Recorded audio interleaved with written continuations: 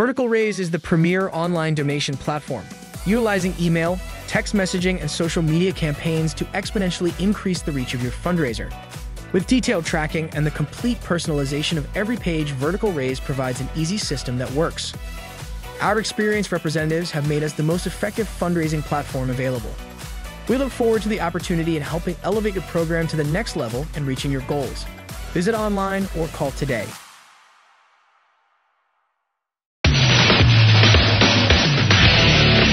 This is a QueenB Radio High School sports presentation.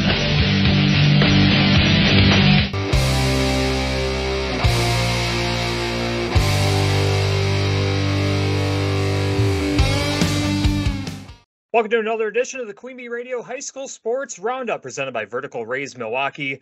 Got a great show lined up for you, including our one on one with a great one interview with Adam Guthrie, a licensed WIAA official in this week's High School Official Appreciation Week. We also have the Suppz.com highlight reel, the shoebox scoreboard covering all the action in high school volleyball, cross country, and girls golf. But we're going to jump right in with the recap of the past week's high school football action. I'm joined by Steve Prestegard, Tom Nisus, and Wally Trouton.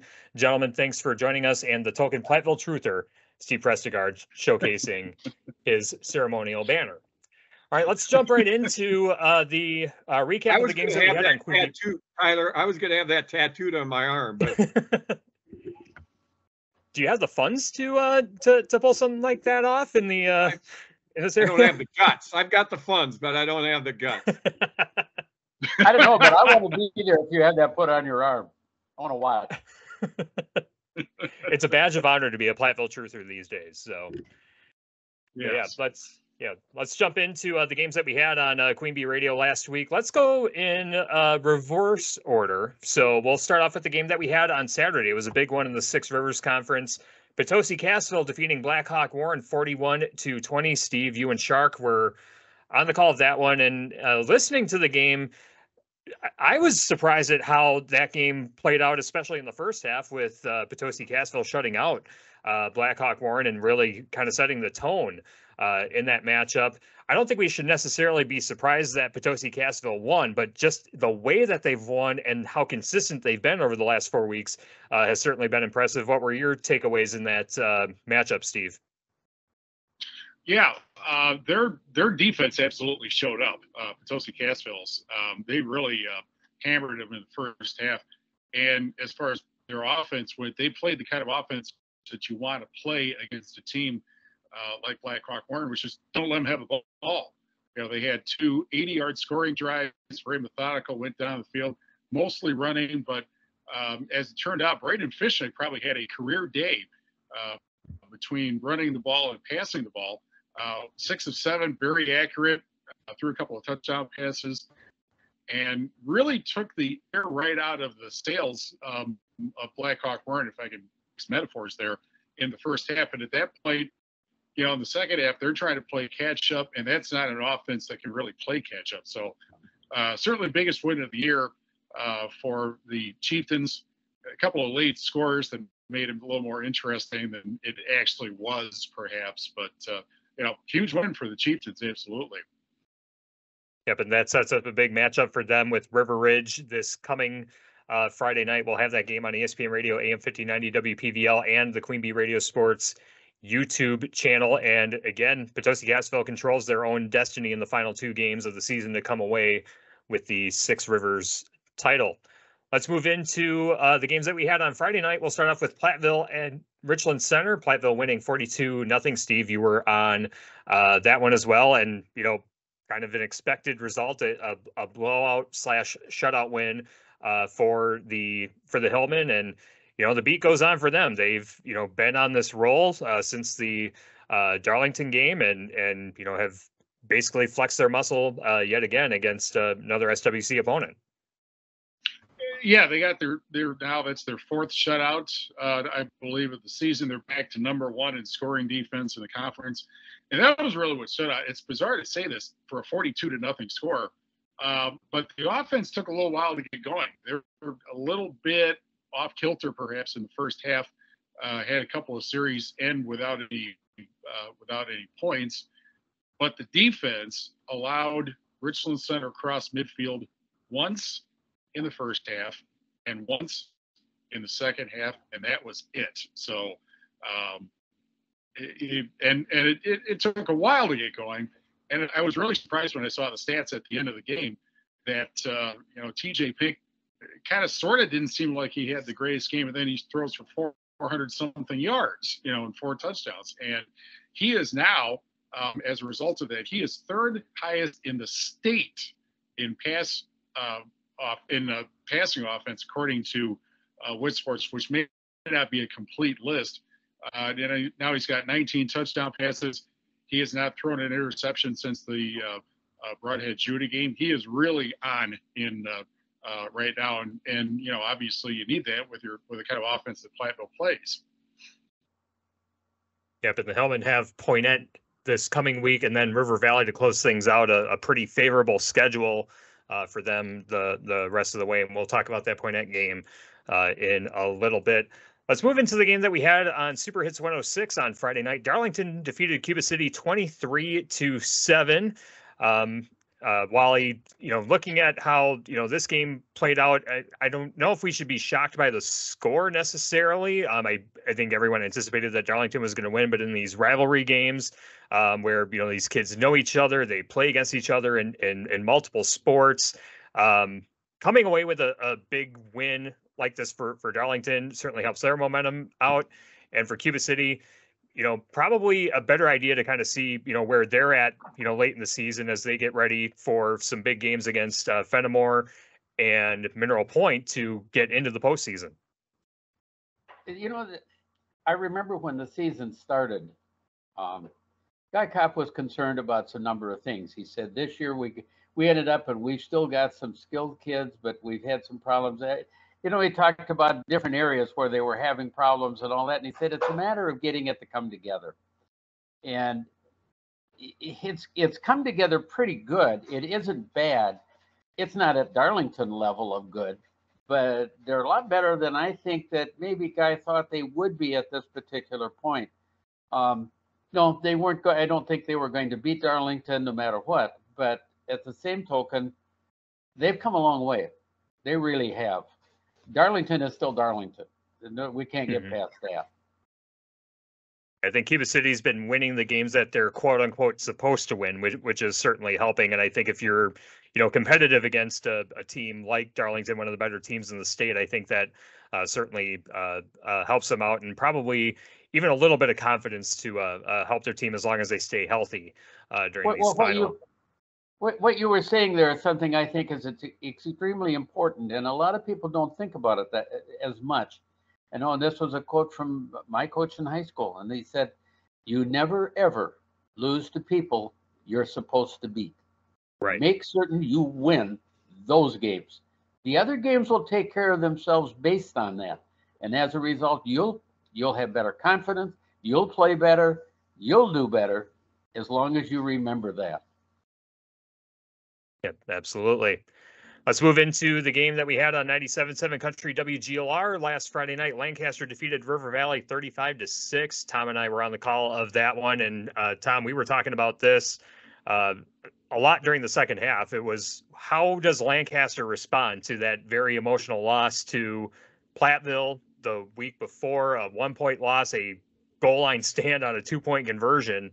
And to, to say the least, Lancaster did not flinch. They asserted their dominance right away and really set the tone uh, in that matchup against River Valley.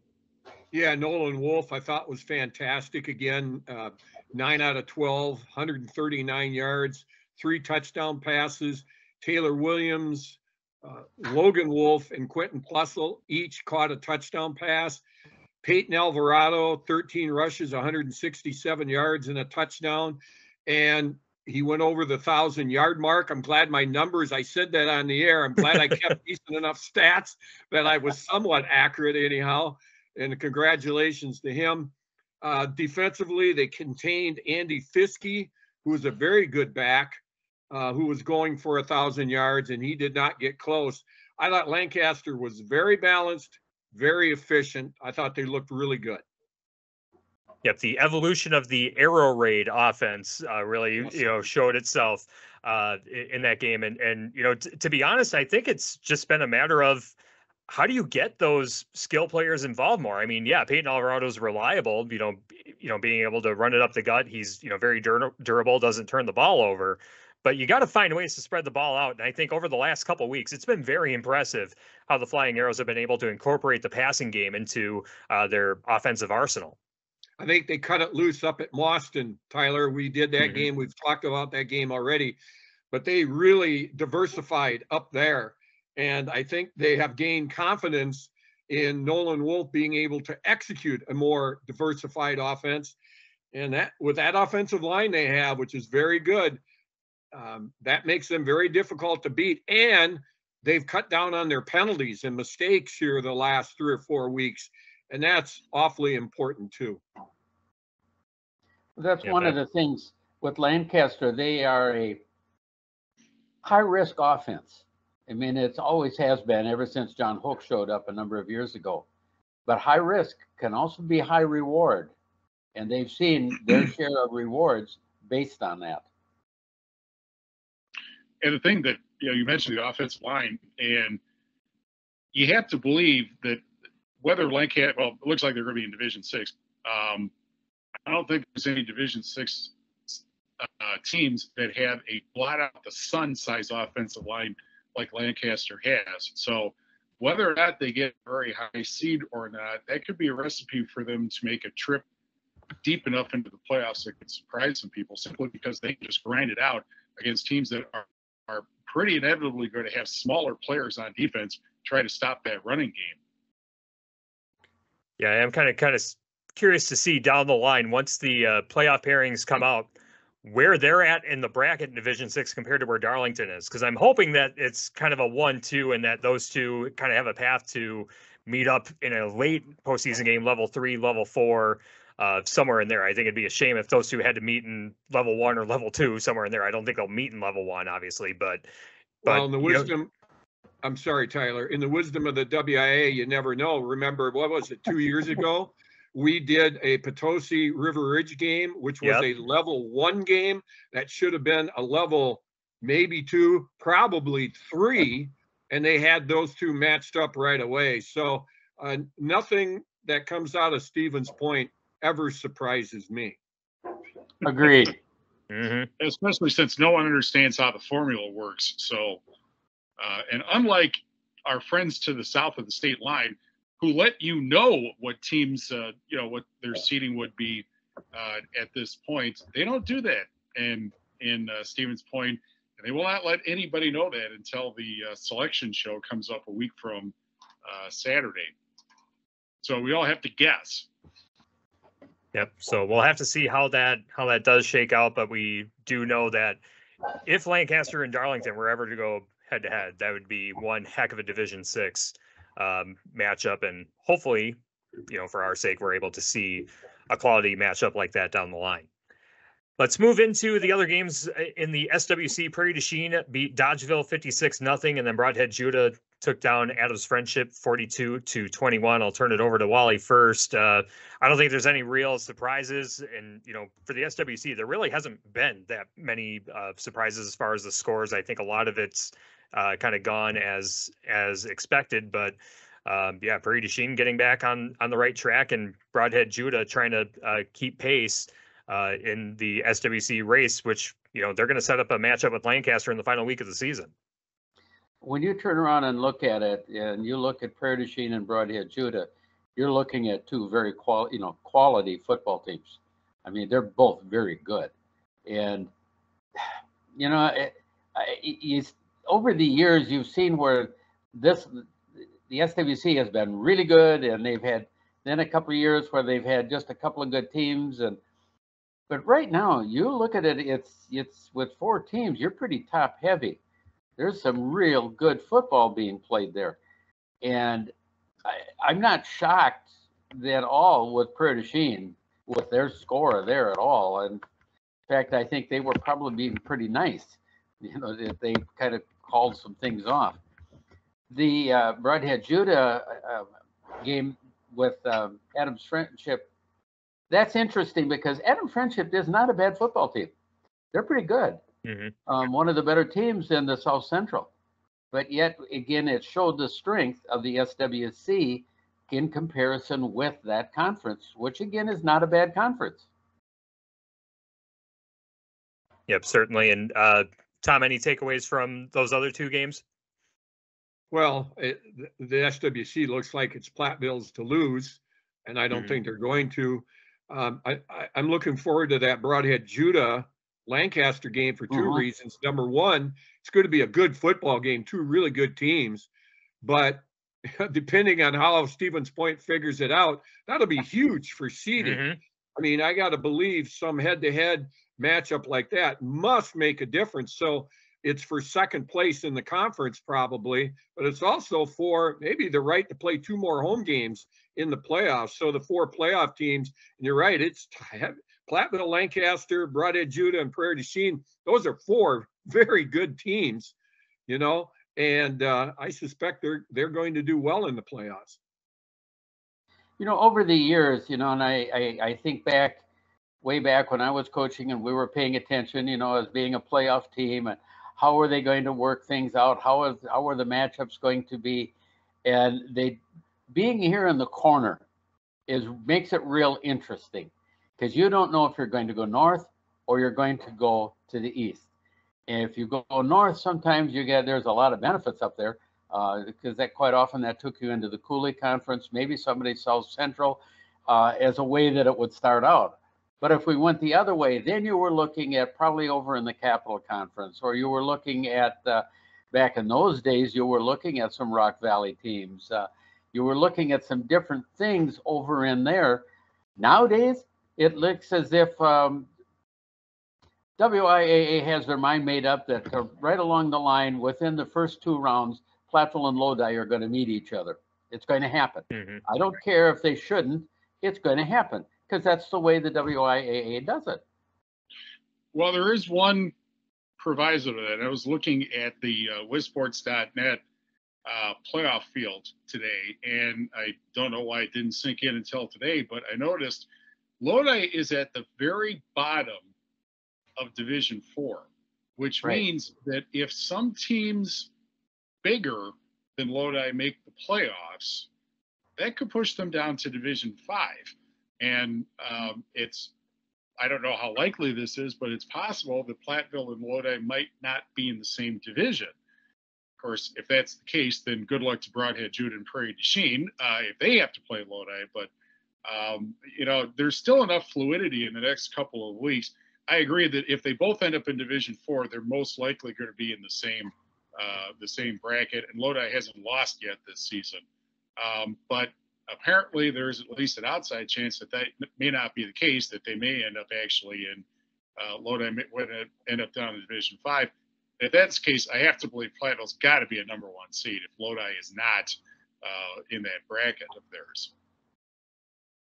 It'll You'd be interesting to see how many of those three win teams make their way into the postseason and how that, you know, impacts the, you know, the cutoffs. Cause there's a number of conferences around the state where there's teams right on that borderline and, you know, some of those close games, depending on, you know, what the level of competition is and how much weight, you know, the, uh, the computer gives to those quote unquote quality losses, that has a significant impact on how that's going to play out.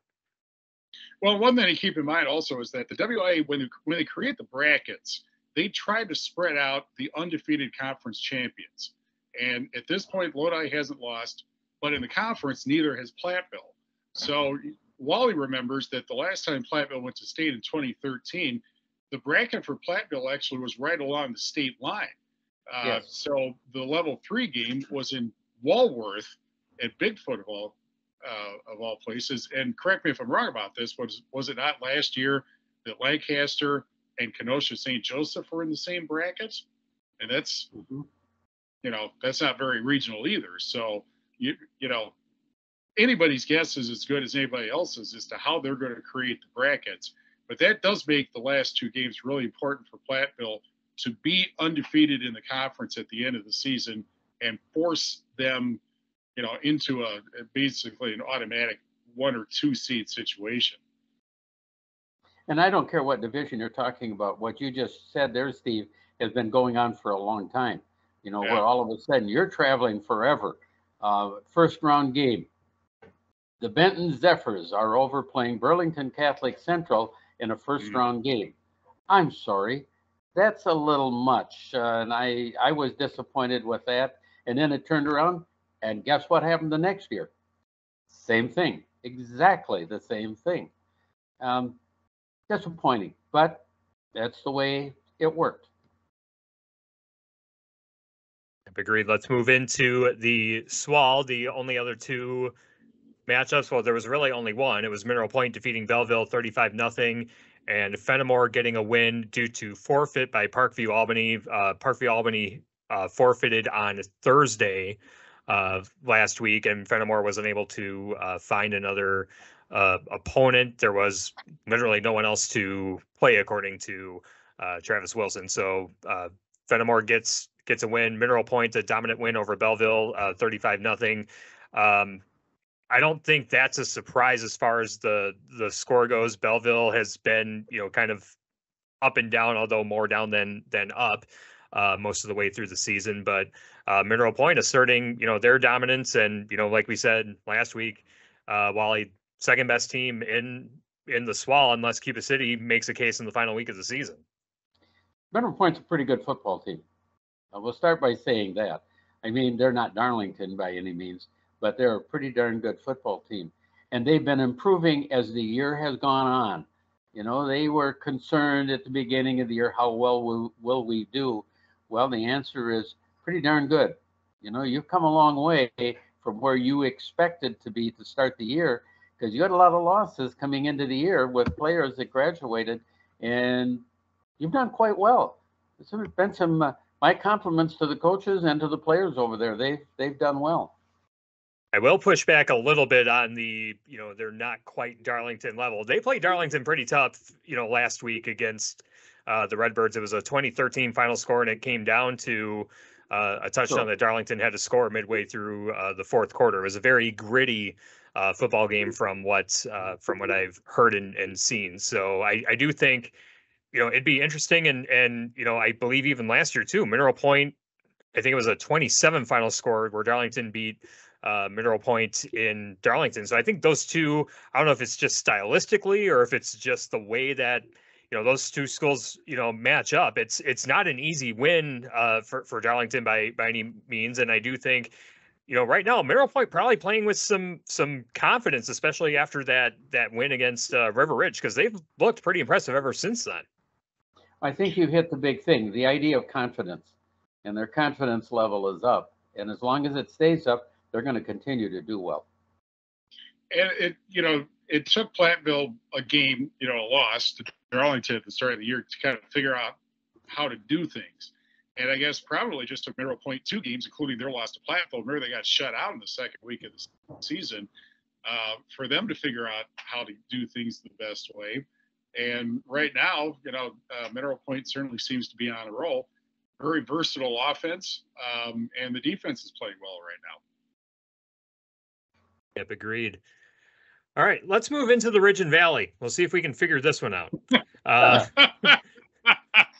I uh, do know one thing. Basketball would love to be able to be playing Parkview Albany. Oh, I, I, I'll agree. I'm sorry. I'm sorry to Jimmy and the basketball people, but I had to say that. Well, I mean, basketball is a fun team to watch, and and they are still uh, looking for their first win. Um, I thought that they would uh, have a, a really solid matchup against Riverdale, but Riverdale did come away with the win, thirty-four to six, the final in that one. But here's where things get interesting in in the Mhm. Ridge and Valley because Hillsboro was undefeated in conference play heading into the week. And our friends from Seneca Wauzeka Steuben beat Hillsboro 18 to 14. Highland maintained their pace, beating Iowa Grant 31 to 8, and Bangor beat Ithaca 48 to nothing. Steve, we've joked over the last couple weeks trying to figure out the Ridge and Valley is just something beyond any one of us can can comprehend. We just have to accept it for what it is. It's a very entertaining conference. It's probably evenly matched um, up and down, but you know, for a Seneca Wauzeka Steuben team that had not scored any points in, I believe, I know it was the first three games, and I think maybe even four of their first five. They're all of a sudden the second place team behind the tiebreaker between Highland and Hillsboro, who, by the way, go head to head this coming weekend in the game that you will be doing. I can pick good that- games really well, can't I, from August? I can't pick the Ridge and Valley well at all, but at least I can figure out what the good games are. Uh, I mean, you know, it's I can't explain it. This is the Ridge and Valley has been the least predictable conference that I think I may have ever seen, and it's you know I hate to put it this way, but you know the two first place teams they're four and three overall, so uh, and they've got the best record of uh, any of the the schools in the Ridge and Valley Conference. So, you know, at the risk of saying something impolite, there's no outstanding team uh, in the Ridge and Valley Conference.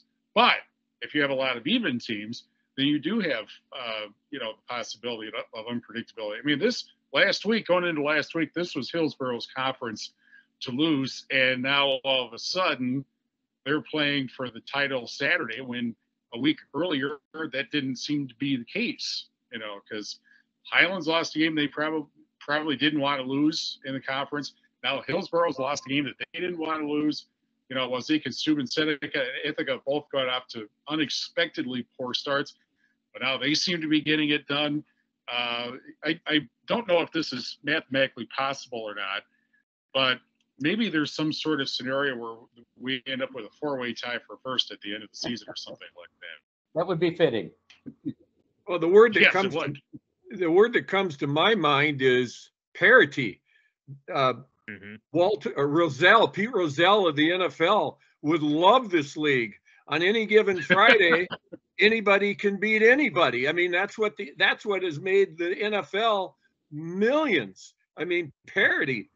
No, not one team has won an out of league game. All their wins are within the conference, which makes for an exciting conference race, but it does not bode well for a long tournament run because you're ultimately going to get matched up probably against better teams. I can't imagine uh, their seedings are going to be really good. You know, Highland has Riverdale next week. Uh, Ithaca's at Hillsboro. So I think Steve's going to see the winner of the conference title on Saturday. I think the Highland Hillsboro game is for first place. And I think that will determine the champion. And you know what? I've been in conferences that have been strong, conferences that have been weak. I don't care.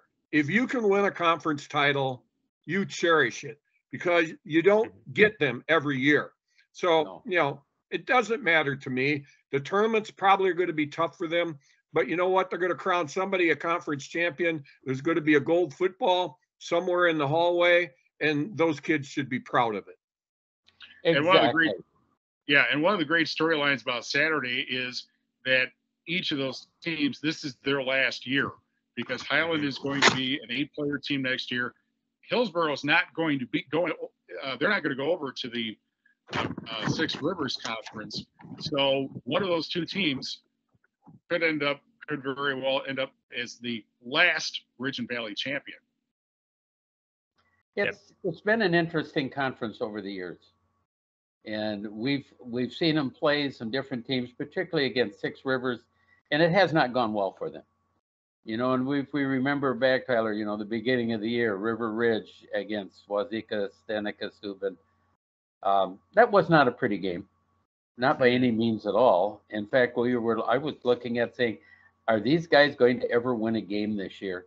And all of a sudden, look where they are but things happen and some of it's the confidence the confidence the confidence you build when you're in your own conference the confidence you build because all of a sudden something went right and there they are And Tom's absolutely right. Also, there is no asterisk on a conference championship trophy. There's no, well, it wasn't a very good year in the conference, you know, or well, they finished tied for first, and they weren't, you know, all that good.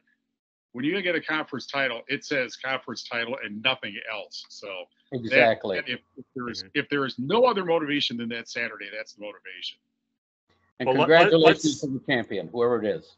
Yeah. Let, let, let's let's point this out too. You know, the the first two weeks of the season, you know, the non-conference schedules for those Ridge and Valley teams, for a bulk of them, were pretty darn brutal. I mean, you know, Potosi Cassville had um, Ithaca and I believe uh, Seneca Wauzeka Steuben. I think those were two, of, you know, the first games that Potosi Cassville had. So those are, you know, some tough ones. Highland had uh, River Ridge to uh, begin the season. So it's not like, you know, they weren't playing, you know, lower tiered teams to to begin the season to, you know, get them the records that they have.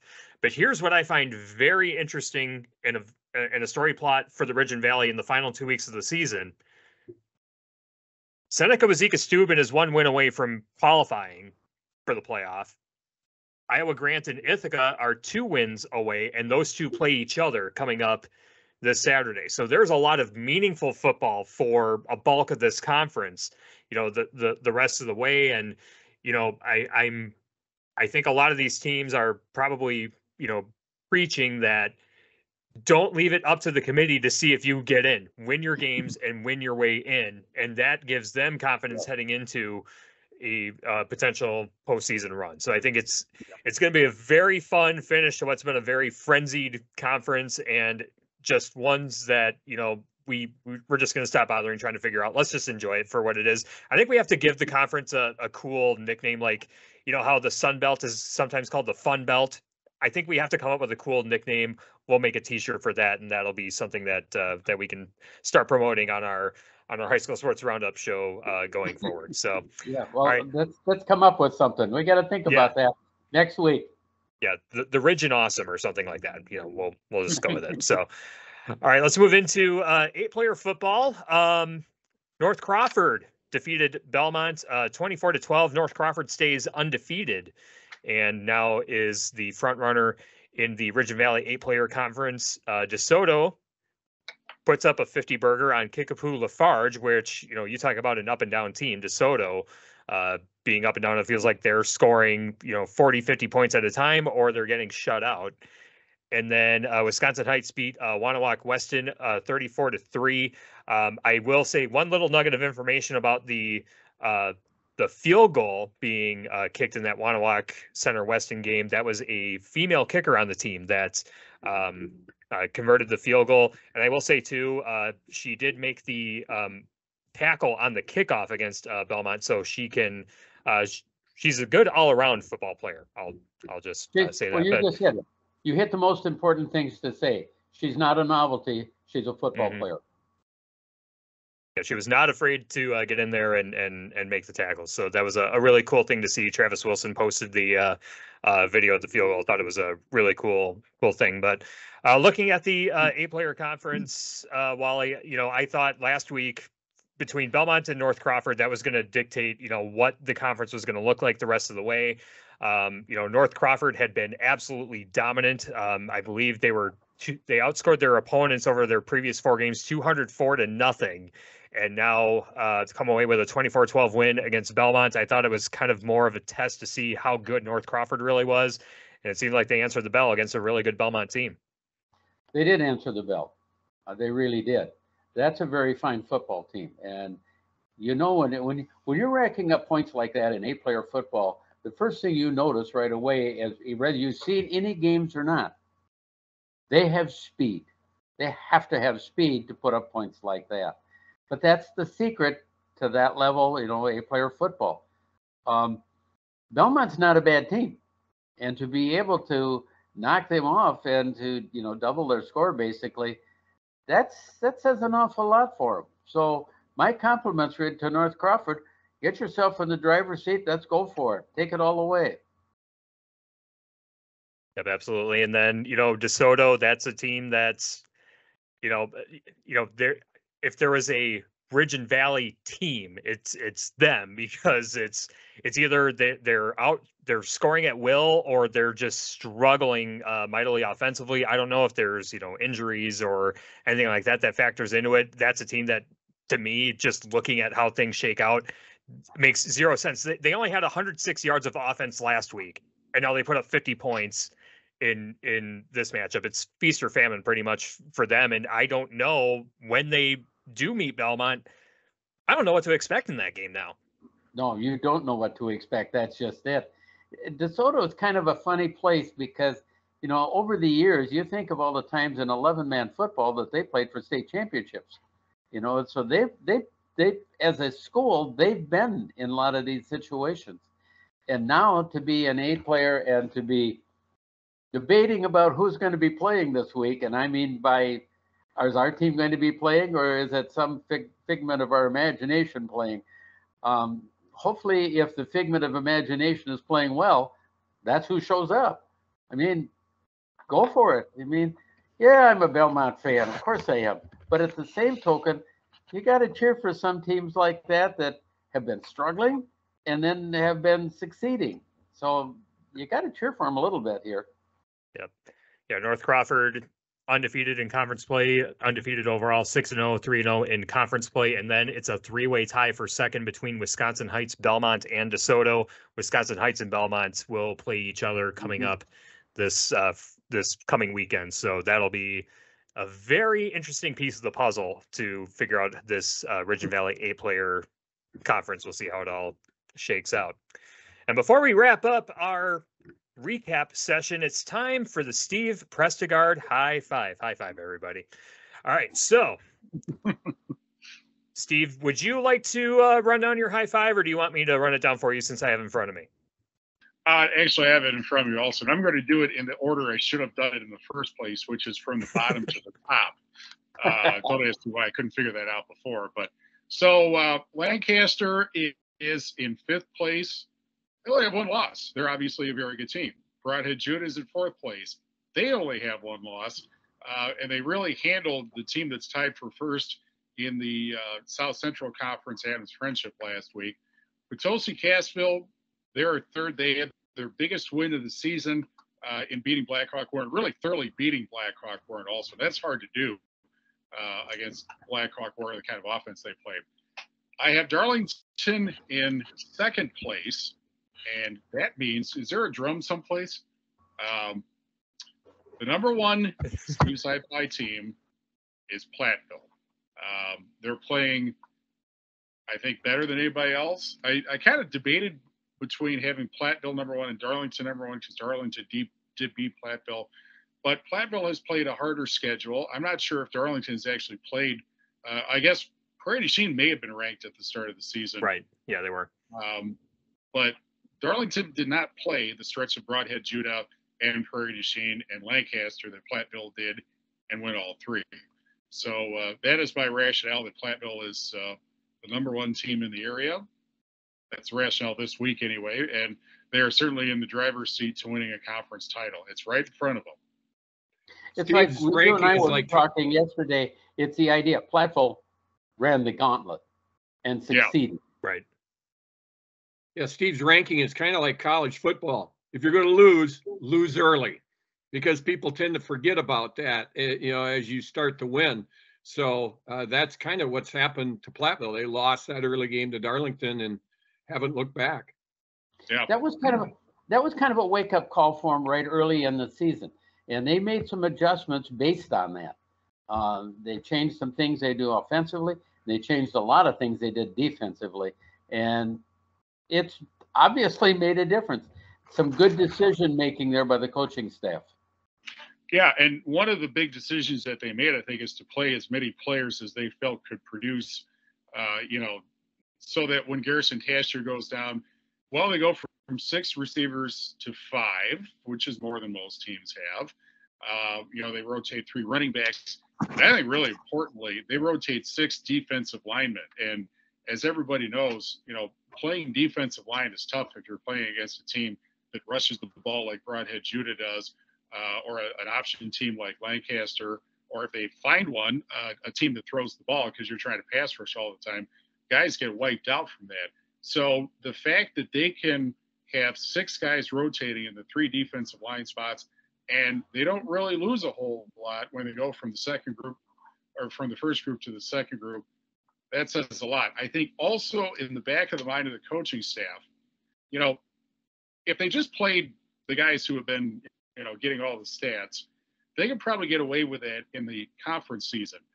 But when they're playing in the postseason against schools that are their size or bigger and have rosters that are their size or bigger, you got to have more people who can contribute.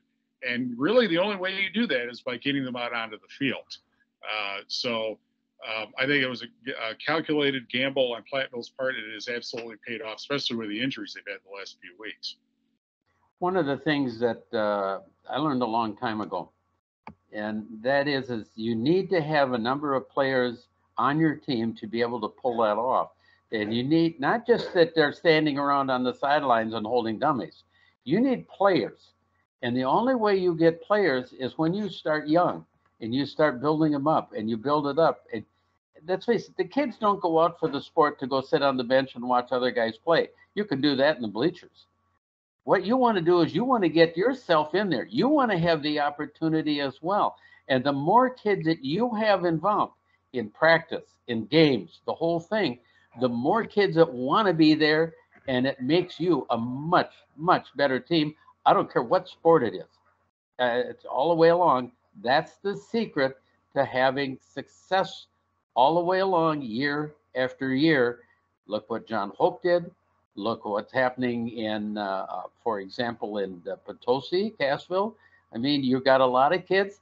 A lot of kids get in the game, and a lot of kids are involved in practice. That's the secret. Yeah, and I'll pose this question to both Steve and Wally. I did ask Tom this during our during halftime of our game because th- this was a, a, very interesting point and it does tie into the text thread that we had about the high five for this week. If platteville and darlington played again how different would the outcome be? I'll start out with you steve since you witnessed the first one. Oh i think it'd be a whole lot closer. Um, you know darlington is still i still think that that defense is uh, an amazing defense that they have in Darlington. But you notice they have not been shutting out people to the extent that Platteville has. And, uh, you know, admittedly, you could say, well, Richland Center's not very good. Gottschall's not very good. You know, Point hadn't gotten it together yet. But look at that Prairie du Chien game. Prairie du Chien is a good team. And Prairie du Chien got into the green zone once in that game and then promptly turned it over. Um, deep, you know, it, even with all the gaudy stats of TJ Pink and uh, their their one-two punch and receiver with Davin Edge and Lucas Ludlum, and you know the interspersed running backs and all that. Um, defense is what brings the trophy home, and uh, I would like to see a defense that is playing as well as Platteville or Darlington is right now. Um, that would be a very low-scoring game, I would think. Mm-hmm. I concur. I think it'd be a very low scoring game. Um, I think it'd be a very entertaining game. Uh, mm-hmm. Probably one of the most fun games of the year to be able to watch, you know, again as a rematch, which I think both coaches are going, are happy to say ain't happening. both of them saying that because I know I'm not so sure that either one would want to have to go through that one. Um, it's tough enough gauntlets that they go through sometimes as it is. But my compliments really to both teams and to the coaching staffs on both teams. You guys have done a heck of a job. Um, how you came from almost disaster to all of a sudden being really, really stinking good, and Darlington for maintaining your your ability your ability and and being able to keep go keep it going. It's tough to do. In fact, I think it's tougher to keep it going once you've achieved than it is to build it. Mm-hmm. And that's saying a lot. Yeah, when you do a conference preview and it's like, okay, who's going to be in the race besides Darlington? And that's the case every single year. Um, you know, that's a Darling. It's it's crazy to think how long Darlington has dominated the SWAL. I mean, it goes back into the 80s, you know, when Douglas MacArthur was the coach, and then Scott Sawicki replaced him. Uh, there was another coach in between, but uh, Scott Sawicki replaced him, and didn't change at all, you know. And now uh, Travis Winkers is there, and Darlington still dominates this ball. Tradition. Agreed. Yep. Yeah. All right. So that is this week's high five as presented by Steve Prestegard. And and yeah, I think we're all pretty much in agreement, although we kind of challenged him on it, you know, when he gave us the initial draft and stuff like that. So yeah, we all agree on it now. But yeah, that is this week's high five. And coming up on the QueenB Radio High School Sports Roundup, we have our one-on-one with a great one interview presented by People State Bank. We'll talk with high school official Adam Guthrie. We also have the Suppz.com highlight reel and the shoebox scoreboard covering the other high school sports in our area. The guys will be back in a little bit to preview the seven games that we have on QueenB Radio, as well as the other games involving the conferences in Southwest Wisconsin. The QueenB Radio High School Sports Roundup continues after this on YouTube and the SoundCloud. Check out Suppz.com. Suppz is Southwest Wisconsin's go to supplement store. Find all your favorite supplement brands at the best prices from local people. Fuel your fitness journey. Suppz.com, your go to supplement store with locations in Fennimore and Dubuque. This week's highlight reel is presented by Suppz.com. Four, eighth play of the drive, their first series on homecoming night here at Lancaster High School. One receiver to the left, two to the right. And a play action fake as Wolf drops back, has a receiver wide open downfield. It's Quentin Flessel, and he is into the end zone for a flying arrows touchdown. 9.47 to go in the second quarter. Lancaster with a 14 0 lead. And they spot the ball at the 12 yard line on the far side hash mark from where we sit. Pitch back, and now a double pass forward looking for Plessel. It is caught at the 40 yard line and gets tackled down by the waist along the Lancaster sideline on the tackle is number 16, Jordan Gager, and another Platteville First Supply first down for the Flying Arrows, and another big explosive play for this Flying Arrow offense. 50 to go, second quarter, 14 nothing. Lancaster on top, trying to go three for three on their offensive possessions here in the first half. They give inside to Alvarado. Alvarado still on his feet, carrying defenders with him, and gets inside the goal line for a Northland Buildings touchdown. I had that English social studies mind. Yeah, I was I was the uh, English major in college once upon a time, although it doesn't always come out that way on the radio. 5:32 to go, He's and gone. Alvarado takes off across the 40 to the 30 to the 20. Can he go in? Gets tackled down from behind. Making the saving tackle is number 14, Griffin Sprecher. But boy, Alvarado had some room when he burst through the line of scrimmage. He is in the Bitech green zone, and it will be first and goal at the five yard line. What a run by Peyton Alvarado. Out of the timeout, first and goal at the seven yard line. Wolf scrambles back, looking for someone open, and has an open receiver in the left corner. It's Logan Wolf for Northland Buildings touchdown.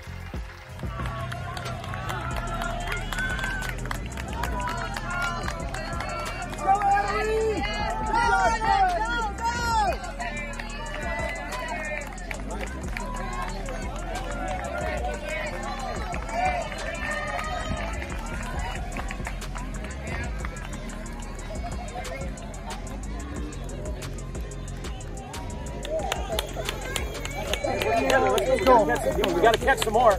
Let's go. Both of them. Way to go, Lily. Come on, Reagan. Take a deep breath. Come on, Reagan. Get ready. Regroup. Regroup here. We got to go. Go, Abby. Pick it up. Lily, good job. City sends up Alexis Rundy to serve into the back middle. Back set, left side spike, that is dug out. Set over to the left side and a spike into the corner that goes down. Into the back row to serve will be Isabella Digman, and she will be the setter. Into the back middle it goes. Spike from the left side, dug out. Set by Digman. Right side spike tipped at the net, and then into the back row it goes. Left side spike, big block there.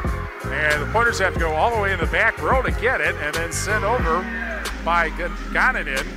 Now uh, a quick tip at the middle by the Cubans. That's saved. Set, and then bumped over. Cuba City tries to set it up now. Left side spike, blocked off one of the left side, right side players from Mineral Point, but out. And a point for the Cubans, a kill for Vosberg. It's 8-4. Cuba City in set number one as they try to take a come from behind set number one. Running jump serve to the back row, dugout. Set to the left side, tipped over, dug out, And then spiked on the left side by the Cubans, and they're able to send it over on a, on a bump. Mineral Point sets it up, spike into the middle. That's dug out into the net, and then can't be cleared over the net. And Mineral Point comes back to win set number one, 26 24. This is set point. Serve dug out, bump set, right side spike block the, net, and that's it. That's Fosberg getting the block. And the final score in set number two is Cuba City 25, Mineral Point 10. We are tied at one set each, and Cabot now will serve for the two sets to one lead. Uh, set point. Dug out and back. Set by Digman. Right side flick over, but the pointers handle that. Now a left side spike by Cabot. That's dug out. Set. Left side spike by Rundy, and that's doesn't clear the net, and then ends set number two, uh, three. Mineral Point takes a 25-20 win in set three, and the Pointers now have a two sets to one lead, serving to probably or possibly, hard to say about clinching because they have two matches left, but they will be in first place if they get this point. And that's sent over by the Cubans. Left side spike. Ashelman. Down it goes, and that's it. Final score Mineral Point 25, Cuba City 16. And Mineral Point wins three sets to one 26 24, uh, 10 25, 25 20, 25 16.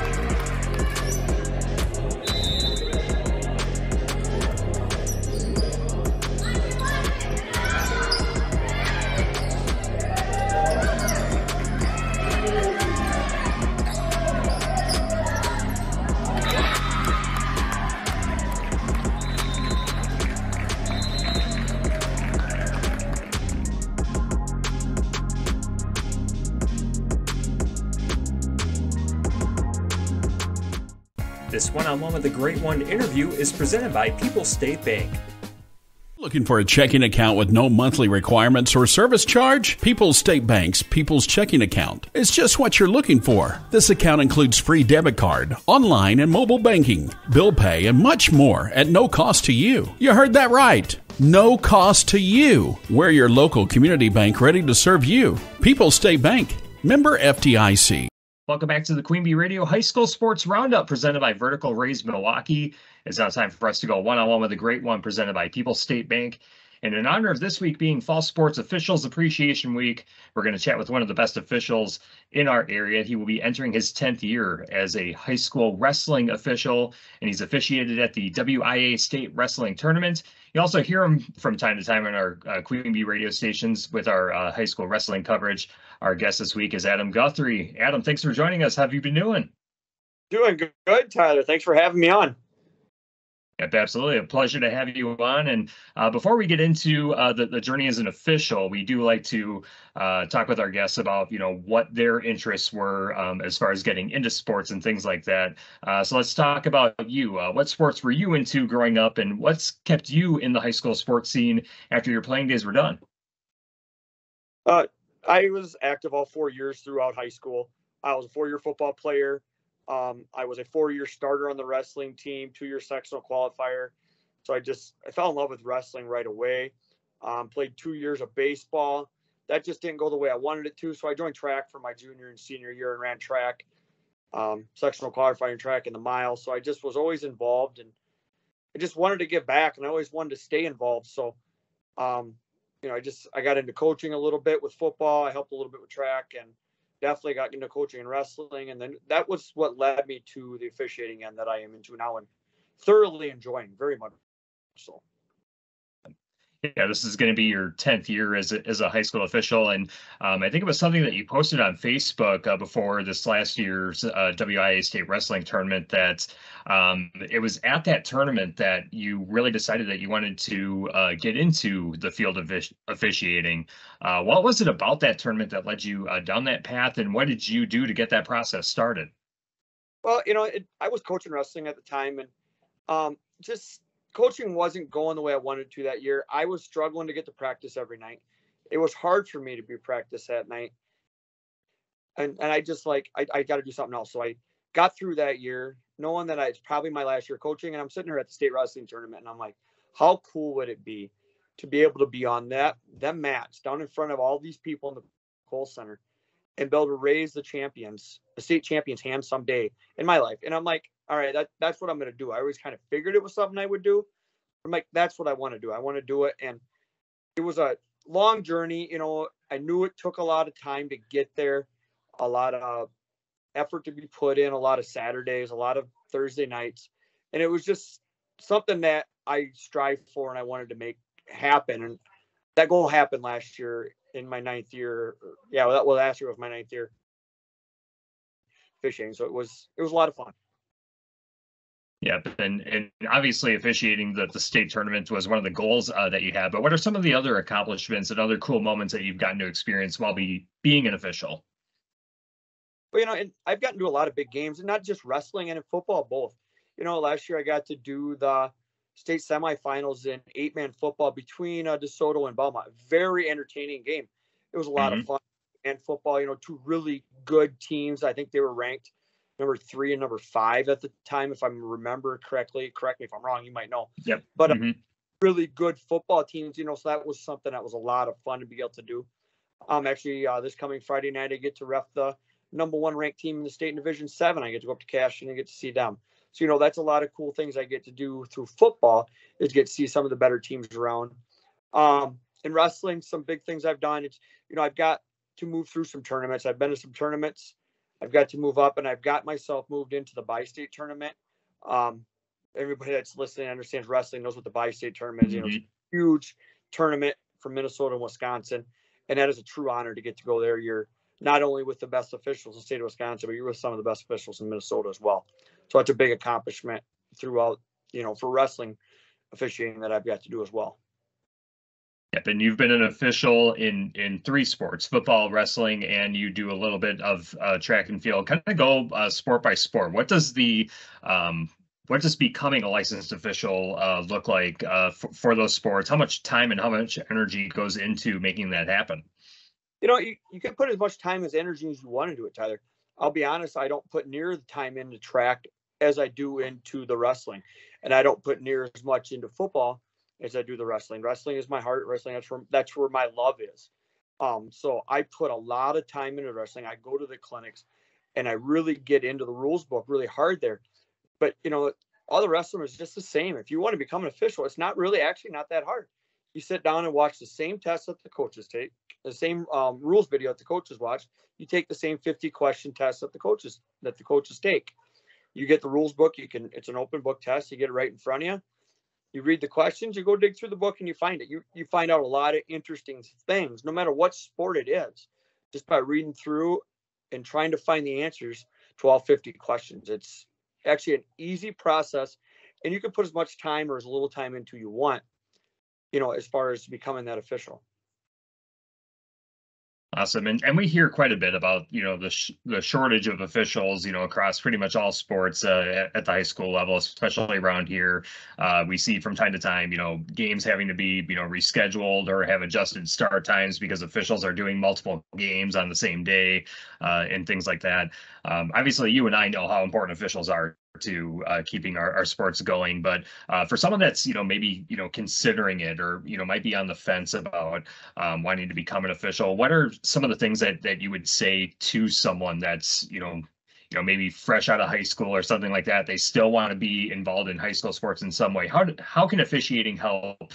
Um, help someone stay in that field and, and be active um, in our high school sports in our area most definitely you know um, if you want to be involved, you it's it's easy to do. Just you know, talk to any official. You know, when it comes to um, football or wrestling, I am definitely more than willing to take anybody under my wing and take them along with me to any match, any football game, and get them involved in JV and middle school stuff. Um, if you're scared of getting yelled at by the coaches, if you're scared to get yelled at by parents, it doesn't happen as much as you think. You know, every athlete sees that. You see what the officials take, what the coaches take, from the parents and from the coaches. It's not that it's not as bad as everybody thinks it is. You just got to have a little bit of a thick skin. You got to let it bounce off you. And you got to understand that the coaches are only out there to do what's best for their athletes. They're going to they're going to yell, they're going to holler. I was in that position for 14 years. I coached for 14 years in wrestling. I understand it. You know, the coaches, they just want to do what's best for their kids. So they're not mad at you. You might think they are. So if you want something you want to get into you're not going to get yelled at as much as you really think. You just got to let it kind of bounce off, let it roll off a little bit, kind of like water. Just let it roll off. You right. Know, yeah, you're going to get yelled at. You're going to take a little bit of heat, but in the end, you're going to walk up to most of these coaches. They're going to shake your hand. And they're going to tell you how good of a job you did that night. And for the most part, I truly believe most of the coaches when they shake your hand that when they say you did a good job, they truly believe it. It's really not that much different from being an athlete, really, when you think about it. It's just coaches, you know, holding, you know, officials accountable to to what they see and, and stuff like that. There, you know, there might be some back and forth. Are there any other like, you know, you know, kind of preconceived notions or um, you know, maybe some uh, I don't want to say stereotypes, but you know, some thoughts about officials that you know maybe you know aren't true, or you know, some um, some pains about being an official that um, might not be as you know dramatic as it seems to be? Well, you know, we always get told we're blind, and we can't. You know, definitely, we can, see so not every official is blind as much as fans want to think we are. But um, you know, it's.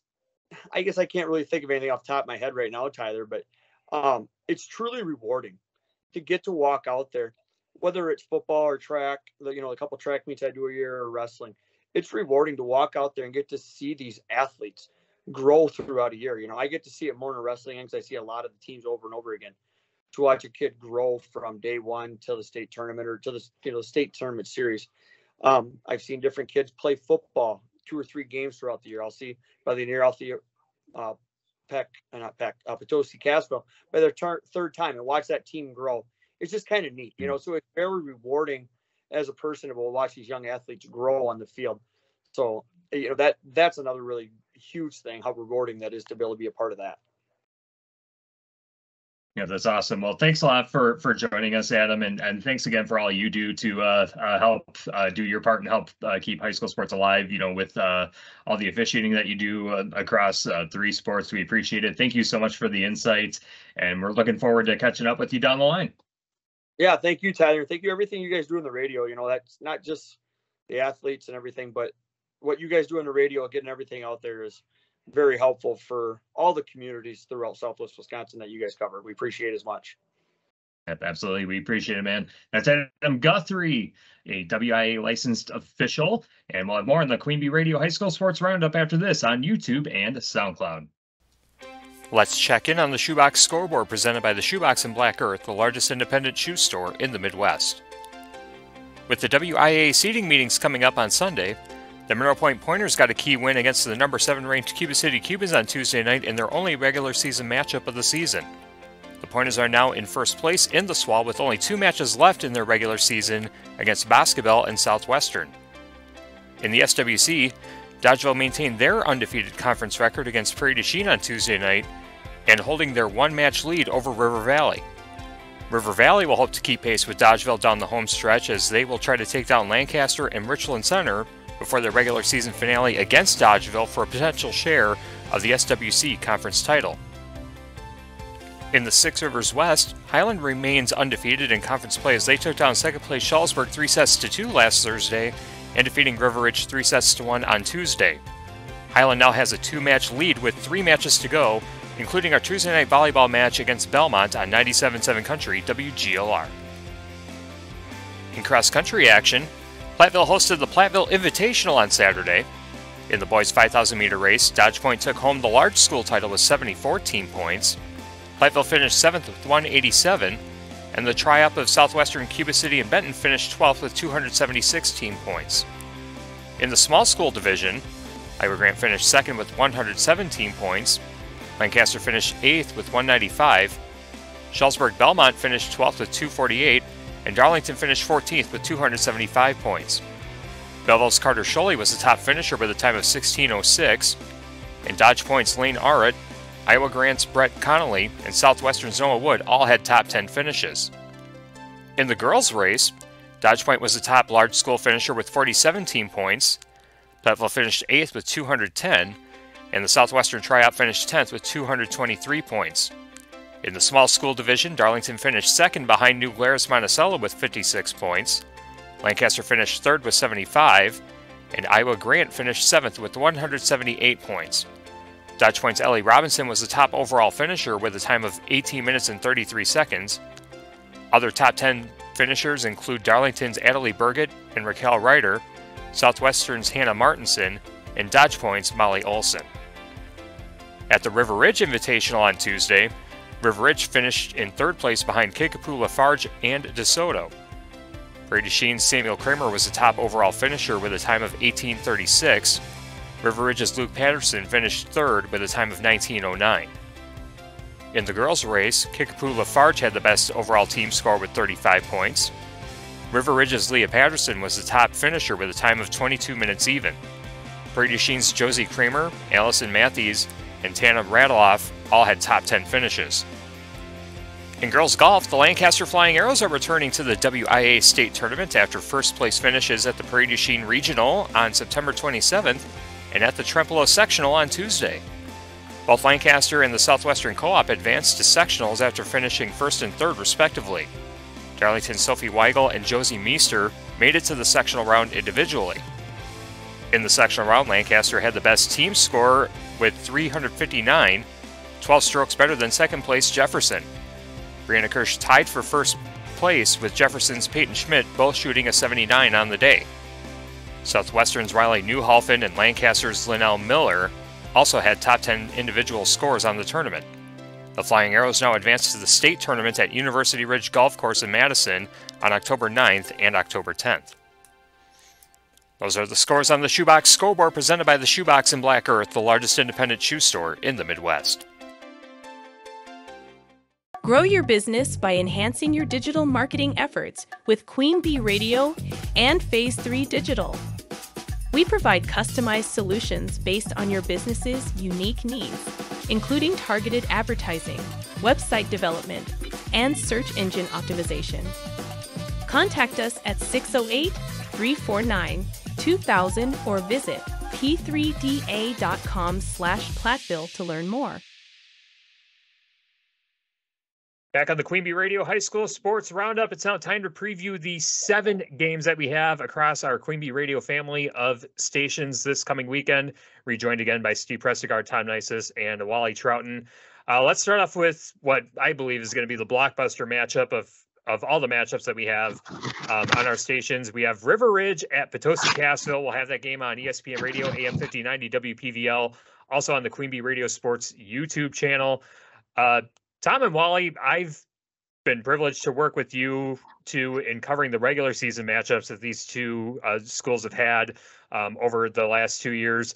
The one that Wally and I had two years ago uh, in Potosi, it was River Ridge jumped out to a 12 nothing lead. Potosi scored, I believe, 30 unanswered points before River Ridge tried to claw their way back uh, before throwing a, a game clinching uh, interception. And then Tom last year, a gritty cold weather game you know, smash mouth football. Um, I think 27 to 13 was the final, but it took a pick six at the very end of that game for Potosi Cassville to uh, pull away. These are two programs that are rivals, but I think it's more of a, a respectful rivalry. It's not, um, you know, a, a, bitter one of, of ill will, at least from uh, from what I've seen. But um, let's let's start off uh, with with you, Steve. You saw Potosi Cassville against Blackhawk Warren. Obviously, they have a ton of momentum uh, heading into uh, this matchup with River Ridge. You also saw the Timberwolves uh, earlier uh, this season against Peck Argyle on the surface of what you know of both teams, uh, what do you kind of take away from uh, this matchup, and what do you kind of think will will happen as things shake out? Well, eh, what's going to be interesting is the matchup of Potosi Cassville's defense. I think against River Ridge's offense. Now they faced an option offense with uh, Blackhawk Warren. It is not the same kind of offense, of course, because mm-hmm. uh, you know River Ridge runs more spread-ish option uh, kind of offense.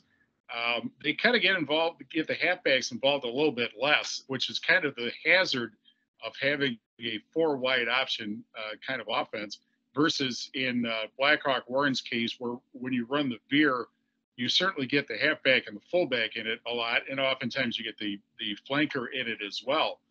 Um, so that's the first thought I have, and you keep in mind again what happened in that first half uh, in, in an incredibly hot field, by the way, which is not going to be the case Friday night. Um, but uh, Potosi just stuffed Blackhawk Warren in the first half of that game. Uh, I think River Ridge is a more uh, versatile offense, maybe throw the ball better, uh, because I think the quarterback for Blackhawk Warren was only three for 12 in the game, though he did have a long touchdown pass. Um, this is probably one of those games where you want to make the other team one dimensional. So, at least in the first half, I have to think that that matchup when River Ridge has the ball against Potosi Cassville's defense will go a long way to deciding how that game's going to go. Yep, agreed. Yep, Wally, go ahead. The thing that strikes me is that uh, I think you've learned one thing when you when you've seen how Potosi handled Blackhawk Warren. You're not going to run the ball at him. You're not going to shove it. And really, when you take a look at at at the River Ridge team, they're good inside. I mean, that's where they'd like would like to go. They'd really like to be able to run the ball up the middle. They're not going to do that. So what they have to do is use speed and get to the outside. And uh, how does Potosi's speed match up with them on the outside? That's what the question is going to be. Throwing the football, Ridge can, can throw the ball. They'd rather not, they really don't like to throw the ball. But again, you just you can't be certain. I mean, it's going to be very interesting. But again, it's for for Ridge to be able to put points on the board. It's going to have to be on the outside. It's not going to be straight ahead and coming up the inside because that's not where the you're running into the teeth of the dragon right at that particular point. So you're going to have to get outside and hope that the tail of the dragon isn't out there to swat you back. But I still think running into the teeth of the dragon does set up your perimeter runs. Exactly. And so I think mm-hmm. you have to you have to probe, you have to do it, um, and make them shut you down. But that's kind of the you know that inside run is their is River Ridge's bread and butter. You know, I, I think the Potosi Blackhawk game, I didn't see it. Steve called it. We've talked about this before the higher you go up the ladder in terms of playing good teams, you've got to be diversified. You know, if you're a football if you're a football team that wants to beat a good opponent, I think you have to both run and pass. And if you are, can only do one thing, a good team is going to shut you down. So I don't know. Um, I think if I'm Ridge, I try that inside run. Uh, they have plenty of opportunities to work the perimeter. Their quarterbacks can throw. I think they have to mix it up to keep the Potosi defense off balance. I know Potosi's offense will do that to the River Ridge defense. They can do both. I went back and looked at their last four games, all won by Potosi. But when you average the scores, it comes out to less than seven points difference over those four meetings. Mm-hmm. Included in that was a playoff game that was 15 to 14 Potosi and it was 14 to nothing River Ridge going into the fourth quarter. I think it's going to be a tight game. I think it's going to be a tough game. You guys were mentioning ahead of time, Potosi maybe is dealing with injuries, but they have a lot of kids. You know, I think they have pretty good depth. And, um, you know, if you play the um, let's go corresponding scores, River Ridge had a Dickens of a time against um, Blackhawk Warren. Potosi handled them, but I think you can throw that out when these two teams get together. I think it's going to be a good football game, and whoever's calling it, it's going to have a lot of fun. One of the things I think, as just kind of the other point with this, you're looking at two coaches that know each other very well. Yep. They're friends. I mean, they during off season they talk about different things and all of that. Um, so you have that in there as well, and as a result, when a game comes together, how do the kids respond and how do they play? And it'll be all about the players on the two teams. Um, it'll be interesting. It'll be a fun game. I'm looking forward to covering that one with uh, Josh Wiederholt. And I think it, this kind of ties into a conversation that we had about the Darlington Cuba City game where these kids are playing against each other in multiple sports. They know mm-hmm. each other, they know their strengths, they know their weaknesses, where, you know, it doesn't necessarily matter how well you played in a previous game or, you know, a, a comparable team. If you know your opponent's, you know, strengths and weaknesses, this ends up being a much more, you know, competitive game. And, you know, some of these kids, you know, who knows around here, you know, they might be, you know, cousins or have, you know, played, you know, travel ball as, you know, teammates in, in other sports. I mean, you don't necessarily know what the dynamic is, you know, going to be from game to game when you have these, you know, closer geographic matchups. But all I know is this anytime it's a game involving River Ridge and Potosi or a River Ridge and Potosi Cassville co op, it's it's can't miss. it, it is a grinded out physical game, regardless of what uh, what sport it is. I think it's uh, going to be an entertaining game, and and very curious to see how that shakes out because a River Ridge win does force a three way tie for the conference heading into you know the final week of the season. Not necessarily in terms of the WIAA that count the the small crossover games as conference matchups, but to decide the Six Rivers Conference among the Six Rivers teams you already you already saw Potosi Cassville beat Blackhawk Warren. Blackhawk Warren beat River Ridge. So a River Ridge over Potosi would force a three-way tie heading into the final week of the season, where um, I believe Potosi Cassville goes to uh, Southwestern East Dubuque to close out the season, which that is not going to be an easy game or you know a, a walkthrough by by any stretch. That's going to be a, tough way for um, Potosi Cassville to have to try and close out a, a conference title if they were to fall to River Ridge. So I think that's going to make for a very intriguing uh, outcome on Friday night. Looking forward to that one again. That'll be on ESPN Radio, AM 1590 WPVL, and the QueenB Radio Sports YouTube channel. The three other games that we have on QueenB Radio, let's start off with Platteville at Poynette on Extreme 1071. Uh, Steve, you and Tom will be uh, covering that one. Uh, Tom, I know you've probably been in the lab kind of studying up on uh, Poynette. Uh, what are some of the things that uh, that stand out about uh, Poynette heading into this matchup with Platteville? Well, they have a you know a quarterback who uh, works out of the shotgun. His name is Meister. They do have a decent running back in the backfield, Hathaway. Um, I'm going to ask you guys. I, I don't know how Wally did this their coaches signal in the plays from the sideline. Mm-hmm. I mean, in baseball, you they're always intercepting, you know, steal signs and things like that. I was wondering if you could, you know, steal their signs, you know, from the opposite sideline. I mean, I, I consider that to be a little bit of a risky thing to do. Um, here's to me is the big deal.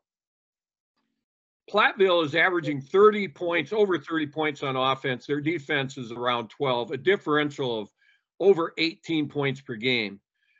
Poynette, they're only averaging eight points on offense per game. They're giving up over 26.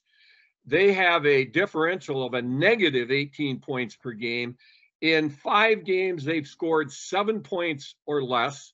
And in their win against Westfield last week, it was a pick six. That's the only touchdown that they scored.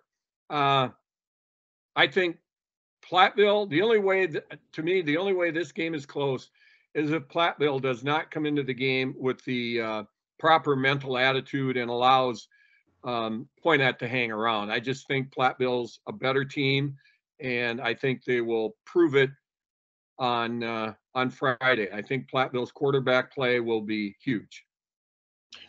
You know that I am, of course, a fan of weird trivia, and so here's the. No. There's actually two. There's actually two pieces of weird trivia tied to this game. Um, the first is that this is actually going to be the last time that an SWC team plays a South Central team as a crossover game. And that's for two reasons. Number one, um, there was a program where they came up with this uh, conference schedule, Montello, Princeton, Green Lake. Well, they do not exist anymore. They are now two eight man teams, Montello, then Princeton, Green Lake. WI never got around to putting somebody else in their place. So next week, Prairie du Chien gets a forfeit win over the former Montello, Princeton, Green Lake. Uh, so that is uh, this game Friday night is going to be the last time that those two uh, conferences playing the crossover game, and it's been a crossover that has that the SWC has absolutely dominated. I think uh, that the only SWC team to have lost to an S, South Central team this year was River Valley. They got beat by Wisconsin Dells, who happens to be tied for first. The even weirder stat is that Platteville has a 17 game winning streak against teams with black and orange colors. Steve, that that bit of trivia makes me worry about you. I worry about you an awful lot. Join Me too. I'm cons- I've been that's- concerned about him a long time for things like that. Yeah, well, Wally and I actually did the last game that Platteville lost to a black and orange team. It was Black River Falls, uh, back when they had the, the third and fourth week games against teams from um, Coulee. the uh, Coulee Conference. Yeah, that was, by the way, where I had one of the greatest pregame meals ever, which was the pork dog uh, up at Black River Falls. It was a hot dog with uh, pulled pork on top and barbecue sauce. It was fantastic, but uh, that's a long way River uh, Black River Falls is. But yeah, so uh, if you look, you know, they played Baroka a couple times, beat them.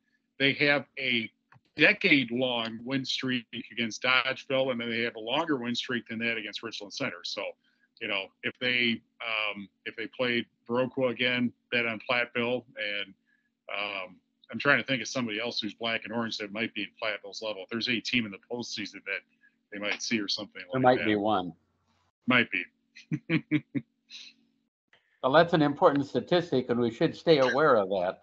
you, you- you know, th- there's there's you know next gen stats, and then there's that. You know that Yeah. is you know the the top level. Like we're breaking it down by team color. You know, and you know, I and you know, is there something to it? Is there something that you can tie to it, Steve, that would indicate why Platteville is successful against teams that wear black and orange? Well, maybe we should ask Cuba City Family Dental since they sponsor the colors of the game. Um, but uh, I, you know, it's got to be just that Richland Center hasn't been good in a long time, and Dodgeville hasn't been good in a long time, and uh, you know, in, in Baroka too. Yeah, in the seasons where um, the SWC played the Coulee Conference, the SWC just hammered them, and the only the only Coulee teams that won were typically whoever won the conference. And Blackhawk or uh, Black River Falls did win the conference back to back seasons uh, about uh, seven or eight years ago, and that happened to be who Platteville played. Um, I cannot imagine what else, you know, what other explanation there would be. I have to agree with you.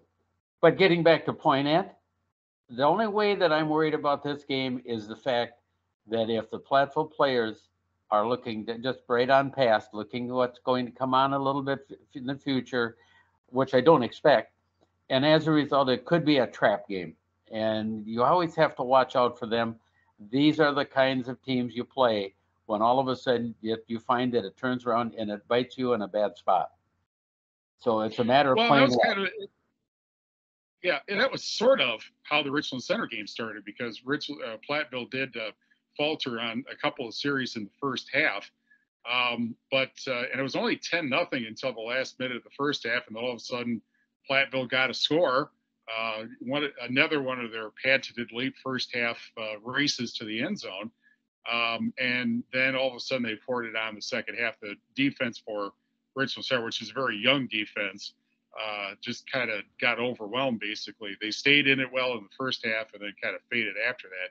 Maybe you could see that with you know with this kind of game Friday night, um, but Platteville seems pretty locked in to me from what I've been able to observe. Yeah, that's Platteville at Poynette. We'll have that game on Friday night on Extreme 1071 and X1071.com. Our next game, Lancaster at Dodgeville on 97.7 Country WGLR. And uh, Tom, you and I have both seen uh, Lancaster and Dodgeville. And I think the key for Lancaster in this one play well, stay healthy. Don't look ahead to Brodhead Juda just yet. You know that they're they're coming up, but get out of there as healthy as you can and make sure that your mind is right heading into that regular season finale. Just do your arrow raid. Let your offensive line go out and dominate. Uh, continue to play good defense, and you know they just should be able to physically go go there and uh, you know take care of that game on both sides of the football. You know, you know we've we've seen we've seen Dodgeville, we've seen Lancaster a lot. Uh, Lancaster just, I think, similar to Platteville. You need to get off the bus in those first couple of series. Don't shoot yourself in the foot. Run your offense. Be precise, and uh, just slowly kind of crush the will out of them. I think. You know, high school coach. Uh, back when I was in in high school in Harmony, Minnesota. Again, this is one that he would say, "You're supposed to win, and doggone it, go win. Go have fun." Play the game hard and have fun. And the other thing is the rule of avoiding an upset is don't let the other team think they're in the game. You know, right. the longer the game goes on and the longer it's closer, you start to think, "Uh oh, we might not win this after all." So, you know, it, if you if you can take them out of it by the half or earlier than the half, if you got running time before the end of the half, so be it, and good for them. Yeah, Lancaster at Dodgeville Friday night on 97.7 Country, WGLR, and WGLR.com. The final game we have on Friday night, Cuba City at Fennimore. We'll have that one on Super Hits 106 and SuperHits106.com. Uh, Wally, the the key for this one, I think, you know, looking at uh, both Cuba City and Fennimore, Cuba City, the win gets them into uh, the the playoffs. So a a key thing for them to play well and uh, Fennimore probably rested because they did have the uh, forfeit to Parkview Albany last week. They're looking to um, uh, hit someone besides themselves. They haven't been able to hit someone besides themselves over the last two weeks, but um, somewhat similar to Lancaster and Dodgeville. I think it's just play well, stay healthy, do what you need to do, take care of business, and get the win. This has been a year where, you know, for Fennimore, at the beginning of the year, things were looking good. They thought, you know, before coming into it, they were looking at having a they were looking this could be a pretty good year. And if something could go wrong it did right at the beginning. So that's the unfortunate thing. But that's over now. It's time to move on. And i'd like to think that the players have improved significantly as we've moved along. Um, rosemary coach teams usually respond fairly well and, and do quite well. Um, this could be a rebuilding year for them at the at this particular point. But this would be a big game for them to look and look well and to play well and to all of a sudden say, look, kids, this is where we've come. We've improved up to this particular point. But on the other side of it, it's a guy cop coach team. Guys more or less telling the players, no, we're going out after them. We're going to win this game and we're going to do it and going away. Let's go out and let's just be physical, play hard, and have fun. And that's a game City needs to have because uh, I don't know that they want to go into the last week of the season having to win that game uh, to clinch mm-hmm. the playoff. For now they're on the bubble right now, um, but you know that's a tough team to wrap your season up against Mineral Point. Uh, so from the Q perspective, you got to take care of business this week. You don't have to worry about that next week. Yep, agreed. Cuba City at Fennimore. We'll have that game Friday night on Super Hits 106 and SuperHits106.com. three games on Saturday. We'll start off with the one that uh, you have, uh, Steve, on Saturday. Hillsboro at Highland, the battle for first place in the Ridge and Valley. That'll be on ESPN Radio, AM 1590 WPVL. Again, Ridge and Valley, we don't really know what to expect. It's just going to be a fun football game. It's going to be Highland's homecoming. It's going to be an awesome environment. I know you're looking forward to it. What are the things that you're looking for on the football field if you can put something together on that? Well, and that's a part of the difficulty with this game, other than the fact that, well, it's the Ridge and Valley, therefore, you know, conventional rules do not apply. Um, but nobody knows a whole lot about Highland because Highland doesn't play teams in this area. They're in a different conference for all their other sports. People know about Highland. You know, you can watch them play baseball or basketball and know who who the athletes are, but that's not necessarily the case about you know with Hillsboro. So that's part of what makes this game a little bit of a mystery and how Hillsboro has played this season.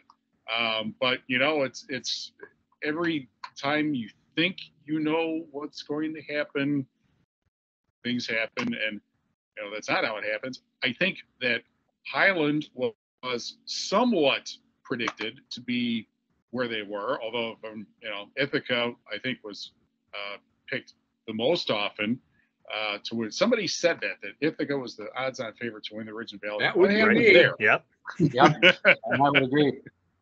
Uh, that- I mean, you know, you, you hear you've heard about the curse of being number one or whatever. It kind of feels like the team in first place in the Ridge and Valley is the team that probably loses the next week, which indeed did happen this last week. So Well, wait a Um, minute here. Uh, What a, d- uh, you know, what a difference a year makes. How did Hillsboro do a year ago? They struggled. hmm I mean, the majors struggled. And Mm-hmm. all of a sudden, they're fighting to win the conference championship. Welcome to the Ridge and Valley. Because the unusual is going to pop up and get you. And look at where they are now. The big thing that Highland has going for it is one of the things that they're traditionally known for. I don't care if we're the smallest team playing 11 man football or whatever it is in the state, or because they have been in the past. They were always one of the most physical for the size of the school. And if they, Mm-hmm. they got that from Six Rivers Conference when they were in the Six Rivers because that's how everybody plays in the Six Rivers. Uh, yeah, so um, I think that that intangible of being the last conference champion in the Ridge and Valley is going to be a big motivator for both of these teams. This is Highland's last 11 player homecoming. Um, you know, going out like that, I think is a is a huge, um, huge motivator for the Cardinals at least. And you know, again, to be the last Ridge and Valley champ is a big motivator, I'm sure, for Hillsboro also. So, um, you know, maybe Highland will go to Platteville and try to borrow some of that anti-black and orange mojo for that game. Well, I- I'll, I'll say this about Highland and, and Hillsboro. I had that homecoming matchup two years ago when Highland was one of the top ranked teams in the state. I believe they were number two um, at that point in Division Seven, and they beat the brakes off Hillsboro. I think it was like 65 to 2. And I remember that the safety came because the backup punter had the snap go over his head and go back into the end zone. Like it was a a very dominant one and um, I believe Hillsboro, um, there, there was a COVID situation where they didn't play for two weeks. So their first game coming out of that uh, was against uh, Highland. It was just not a, a very good matchup. So to see Hillsboro come back and, and be a conference contender is, is a really cool thing. And um, I think uh, looking to avenge some of that uh, might be um, a motivating factor for that. Should be a fun one. Uh, Steve, have some fun with that one on Saturday on ESPN Radio, AM 1590 WPVL. The only negative I have for Highland for this football game, it's homecoming. I've never liked homecoming. When homecoming is at your school, more crazy things go on during the week, and where is the focus on all the crazy things that are happening? Difficult for the kids to be focused on what needs to be done. If they can be there, then they're going to be fine. Well, now this this makes here's my comparison. Ridge and Valley Conference is like seven weeks of homecoming games.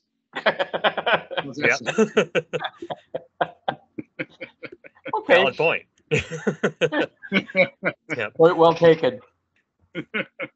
Yeah, we have another Ridge and Valley game on Saturday as well on Extreme 1071 Iowa Grant at Ithaca. And again, uh, we mentioned this during the the recap session.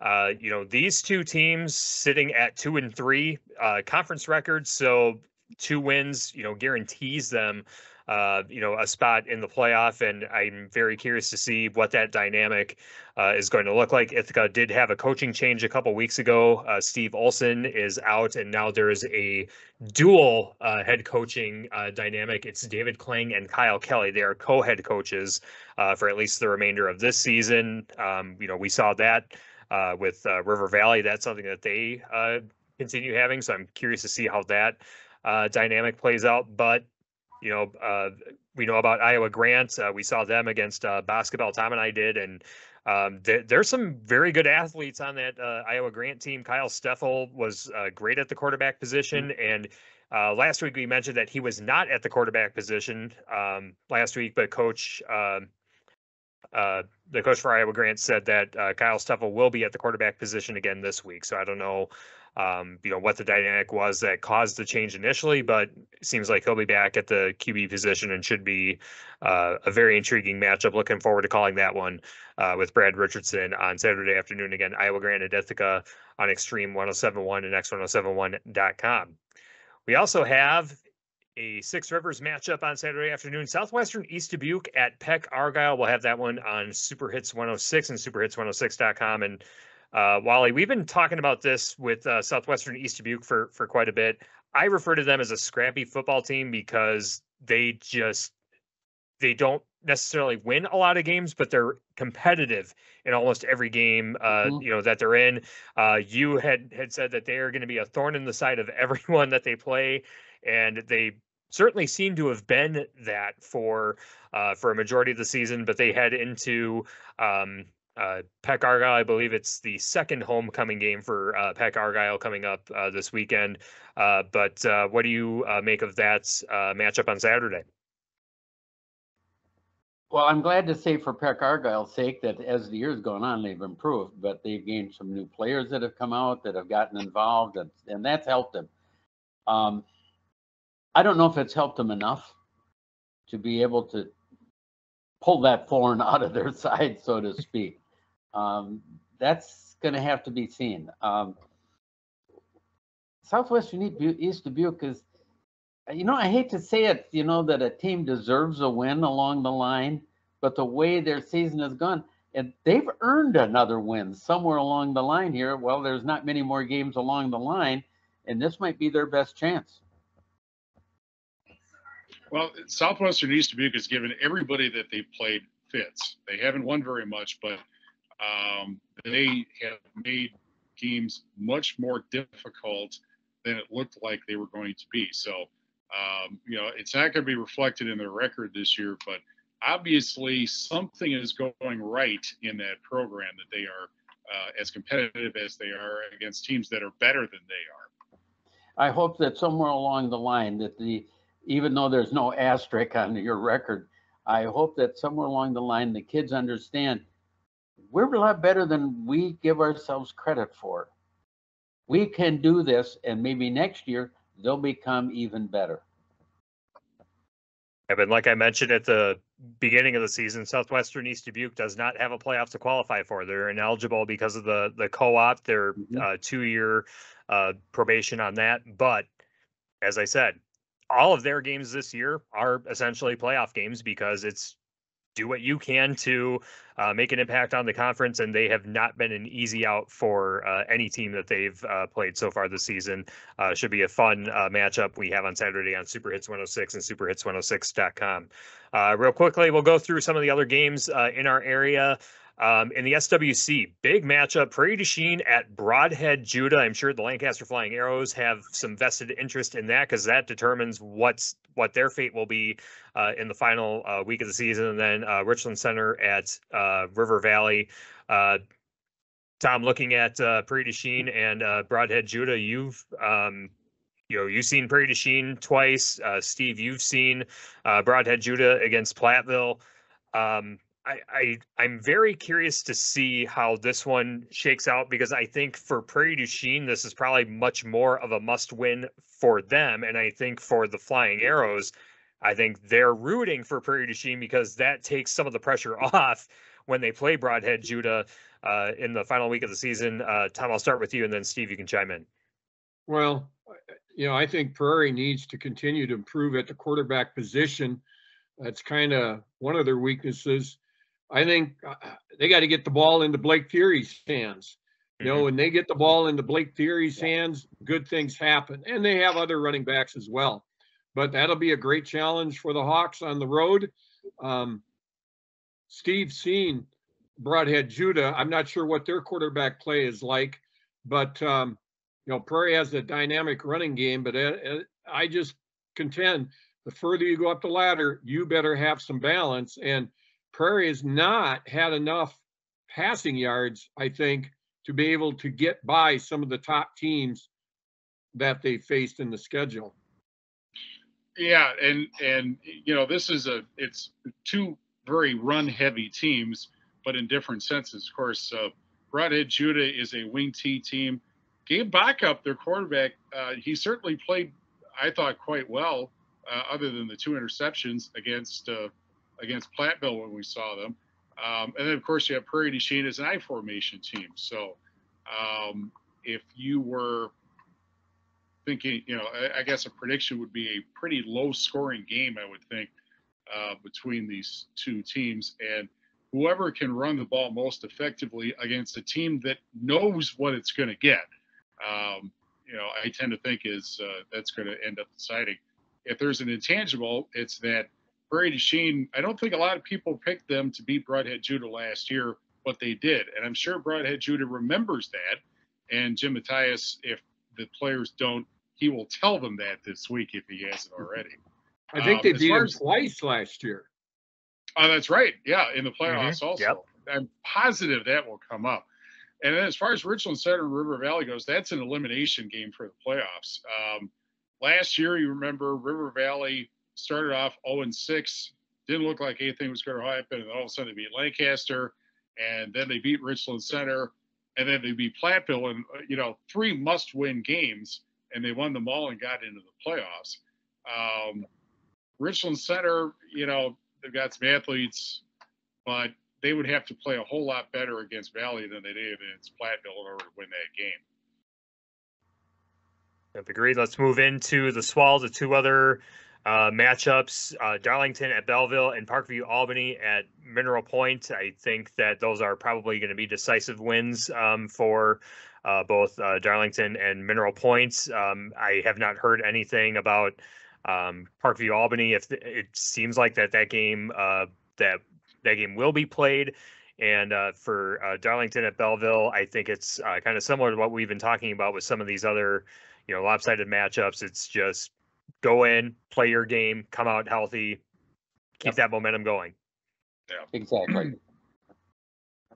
All right, the other matchup in the Six Rivers Conference, Benton Scales Mound Shullsburg at Blackhawk Warren. Blackhawk Warren trying to get back on the uh, winning track. And uh, Wally, you've seen uh, you saw Benton Scales Mound Shullsburg earlier in the season against uh, uh, Cuba City.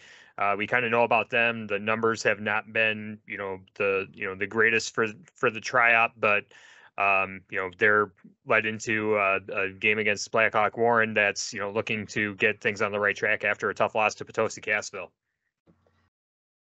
I don't think they're up to it. I really don't. I, I you know, I've, I've, I always have had a place in my heart for the Benton, Scales Mound co-op, and then I've always had a place in my heart for Shullsburg. But uh, I'm sorry, guys, I'm not so certain that you have the horsepower to be able to um, take it to Blackhawk Warren. I, I, I really don't think you do. Um, but you know, stranger things have happened. They they really have. And the the thing that we don't always look at is the fact that it's how does this team match up with that team as much as it is how is what's the record you know how does this team match up with that? Uh, is it how does their defensive line match their offensive line or all those different things and you, saw the matchup thing with Platteville and Lancaster. where Platteville struggled with the offensive line for Lancaster, but Lancaster struggled with the speed of Platteville. God, that what a shock that is because it used to be the speed of Lancaster. But it's it's mm-hmm. one of those things. It's just how does the matchup occur? I still favor um, Blackhawk Warren as far as being the winner in the game, but I'm disappointed that uh, the, the Knights, and I still have trouble with the Knights calling them that. um, but I, I, I, I hope they play well and show up well. One thing to keep to keep in mind about Blackhawk Warren, and I don't know, I don't think this is going to have an impact Friday night, but Blackhawk Warren's 11 offensive starters are also their defensive starters. Yes. Um, mm-hmm. Now they did get one of their players back uh, for last week, uh, but this is not a team that has a huge amount of depth. Now, obviously, hardly anybody does in in Division Seven, but um, that's got to be one Blackhawk Warren goal. They only have one loss this year. They're going to get a high playoff seed, but they have to make sure that they get through this last game or this yeah. game and then their last game and not get somebody hurt because that wipes people. You know that that takes away an offensive starter and a defensive starter and probably somebody who plays in special teams. Uh, you know both sides of the ball also. So that that's got to be a concern for Blackhawk Warren in this game we're at a point right now where I think what one of the things you, we're, we're starting to hint at a little bit is we're already starting to look and talking about playoffs, and we're already talking about having players ready, having you know not losing players, that kind of a thing, and matchups and so on. Um, this is where it becomes a point of concern for coaches uh, as much as us, you know, speculating but where you're looking at what, how are these matchups going to occur? What is it we have to be aware of as we're looking ahead? Um, because they're doing that too, and trying to make certain that they have players prepared for what's going to come ahead. One of the things we talk about is the idea of being a balanced offense. I agree. I'm all for a balanced offense. But if you think about it, think of all the championship games you've seen at Camp Randall. How many are passing teams? Not very many. Right. Those are running teams. And why are they running teams? It's called November because it's exactly. miserable. And as a result, you have to be able to run the football. Yes, passing will has got to be there, and you've got to be able to mix it in, but you need to be able to run the ball.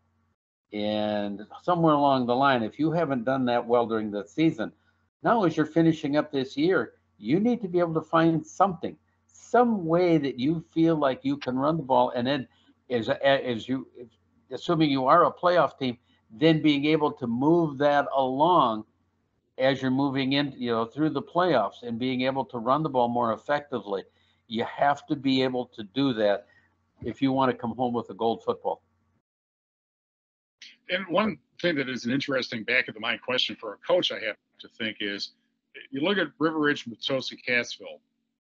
This is their not necessarily only time that they are going to play each other, and Correct. it's entirely possible that in a couple of weeks they'll turn around and play each other again. And I don't know, you know, it, it's an interesting question to ask. Do you throw some stuff in to that you don't necessarily think you're going to use, but make them to prepare for for a possible next matchup? or do you just play very vanilla, beat them with the stuff that you've been doing all year, and then you know save some stuff for the next matchup? I mean, it's hard to say if there is going to be a next matchup, but no one would be surprised certainly if, as an example, River Ridge and Potosi Cassville play in the playoffs again, uh, or you know the Ridge and Valley teams faced off for the second time because uh, they're all Division Seven schools also.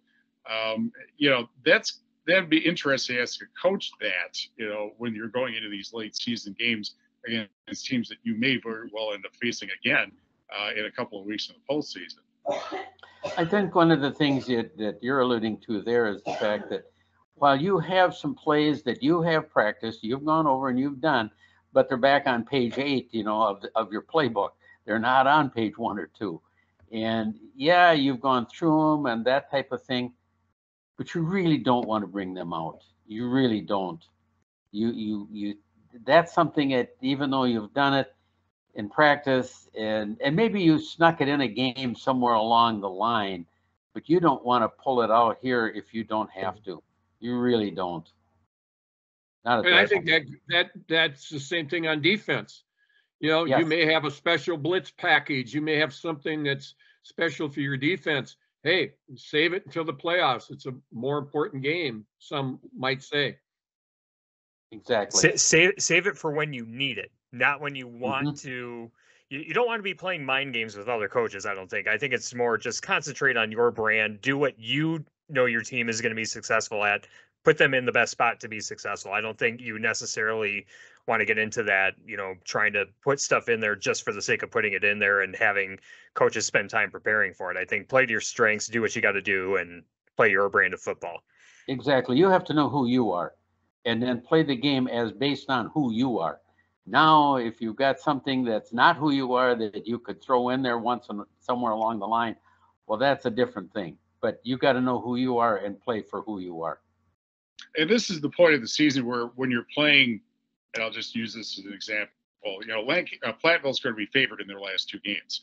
Um, Barry Alvarez, when he started at Wisconsin, I think was the first coach I ever heard use the phrase "play against the game." Yeah. In, the first couple of years, we're not very good. They went into games they know they were going to get beat. So their evaluation of how they did wasn't based on the final score necessarily, but did they do the things they wanted to do? And did they do them in the manner that they wanted to do? Well, that could really apply to you know teams that have relatively easy opponents in the last couple of weeks. You know, okay, we can probably play poorly and still beat this team, but that's really not going to get it done in the postseason because you'll be playing progressively better teams. Therefore, these are the things we want to do, and this is what we're going to evaluate ourselves on. Did we get certain number of yards on first down? Was our pass completion percentage at least this much? Did we win the turnover battle? Um, did we avoid doing dumb things, you know, uh, penalties and that sort of thing? And I have to think that that's what coaches, when they have easy schedules late in the season, when they know they're going into the playoffs, that, that they start evaluating themselves based on that, not necessarily, okay, we beat this team because they're not very good. Um, but, you know, to be able to know your team, what you need to do, and then evaluate, did you do that or not, even if you won the game? Uh, I think we're going to be seeing that in the next couple of weeks also. I think uh, one of the things you're referring to there too that Alvarez did, and I ha- I'm sorry for mentioning this name because some people will say, "Why do you talk about somebody like that?" Bobby Knight. Bobby Knight, when he was at Indiana in particular, he had that same type of a thing, where it was a matter of, it's how did Indiana do against Indiana? How did Indiana do against Indiana? Based on those variety of things based on making free throws, based on out of bounds plays, based on every little basketball thing you can think about. He had all of these things that he had and they expected to be able to do it at that level or at the level he believed is where Indiana should be. That was his philosophy that he used in those particular points. And that's pretty much what Barry Alvarez was focusing on there as well. That same type of thing. You have to go out and play yourself or beat yourself or not beat yourself by doing the right things. That's a very long, exhaustive look at Benton Scales Mount Charlesburg at Black Hawk Horn. That'll be uh, coming up uh, later on this week. Uh, let's uh, move into uh, the other matchups in the Ridge and Valley. Uh, Basketball at New Lisbon. Basketball looking for their first win of the season. They travel to New Lisbon, who is five and two in Go the Scenic Bluffs Conference, and then uh, Riverdale at uh, Seneca Wauzeka Steuben, where again I think for the Blue Golds, it's you know you're in that second place spot now in the in the Ridge and Valley. Try to maintain that pace and and hold off uh, Riverdale, and you know see how things uh, kind of shake out. You know the the rest of the way in the the Ridge and Valley. Yeah, pretty much it. It's it's going to be an interesting thing in the and uh, how do things look from the ridge? They look sunny. kind of be positive for Ridge and Valley here. Yep, indeed. All right, let's move into eight player footballs. Two very interesting matchups in the Ridge Valley eight player conference. Wisconsin Heights at Belmont. Uh, those teams are both two and one.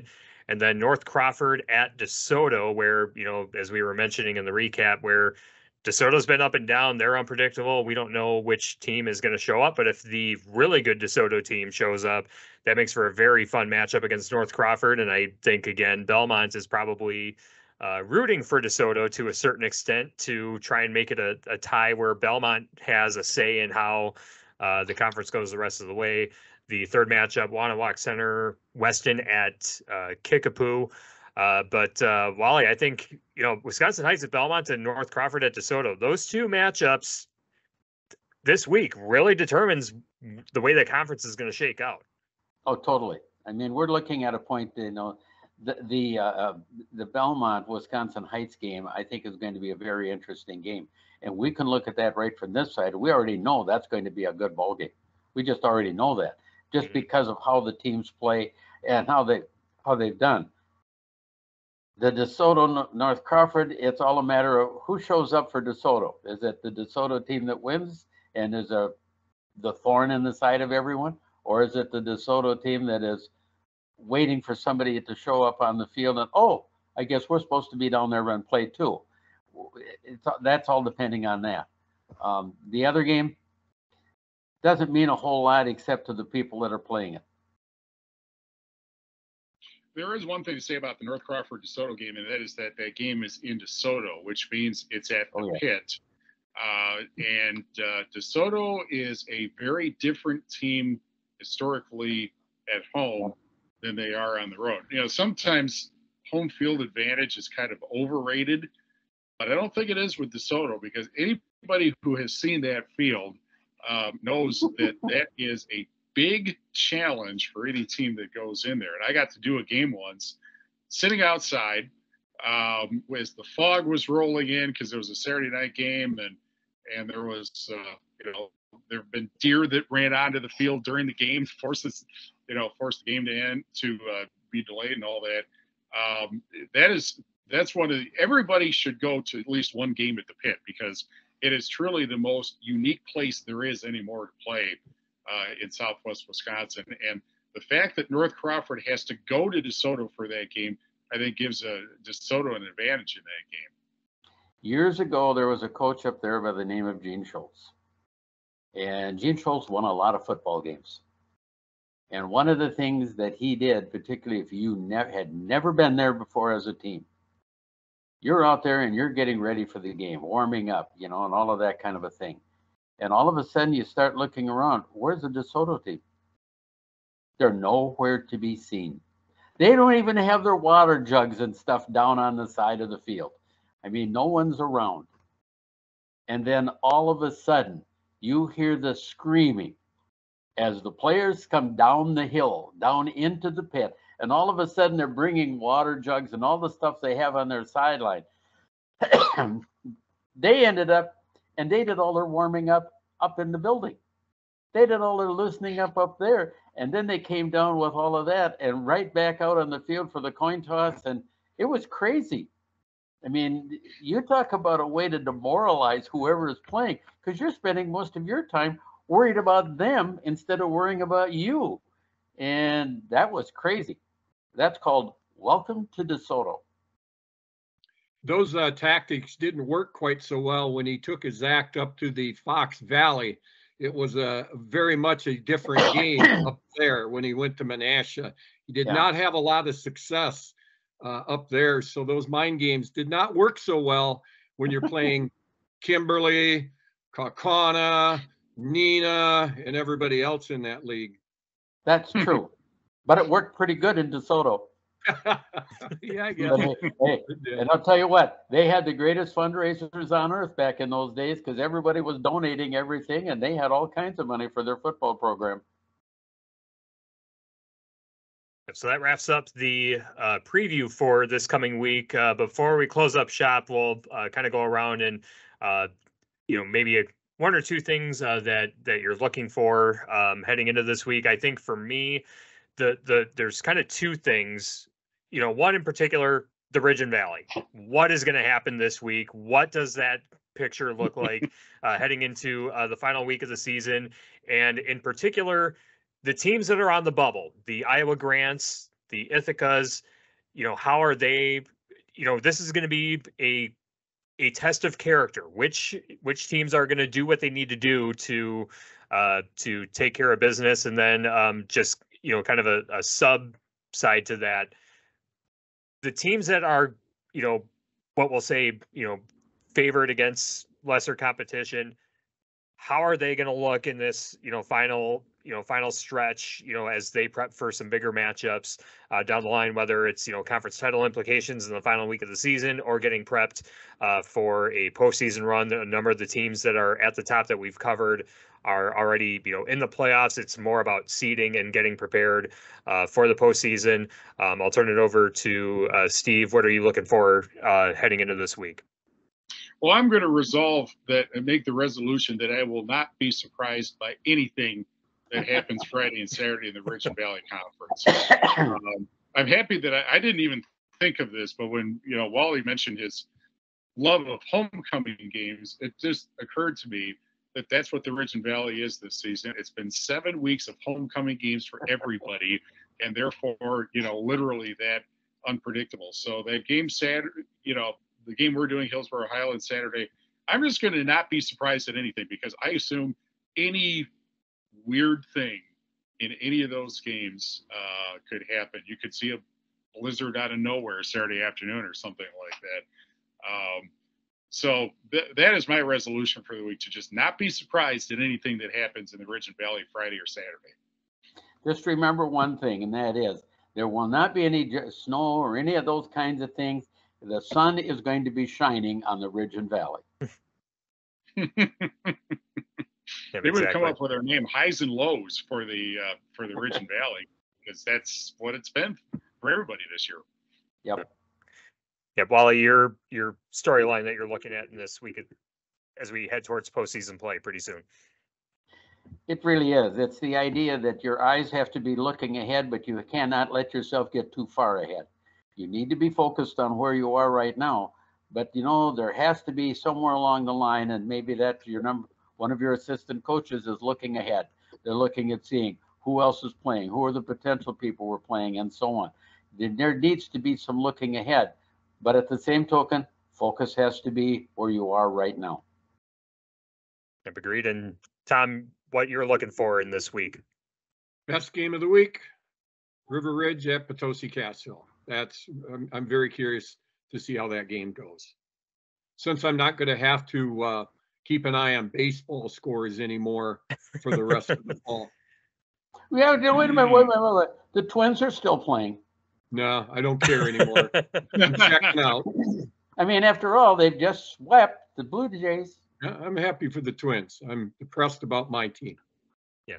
I'm sorry congrats on their first two wins in 18 years in the postseason. Yeah, good on them. So, uh, so, so yeah, that'll that'll wrap things up for this week's edition of the QueenB Radio High School Sports Roundup. Thank you to Steve, Tom, and Wally for joining me, recapping last week, previewing this week. Uh, had a great interview this week. Our one-on-one with a great one with Adam Guthrie. Um, awesome show this week. Thank you, gentlemen, for joining me, and we'll have another edition of the QueenB Radio High School Sports Roundup next Thursday here on YouTube and SoundCloud.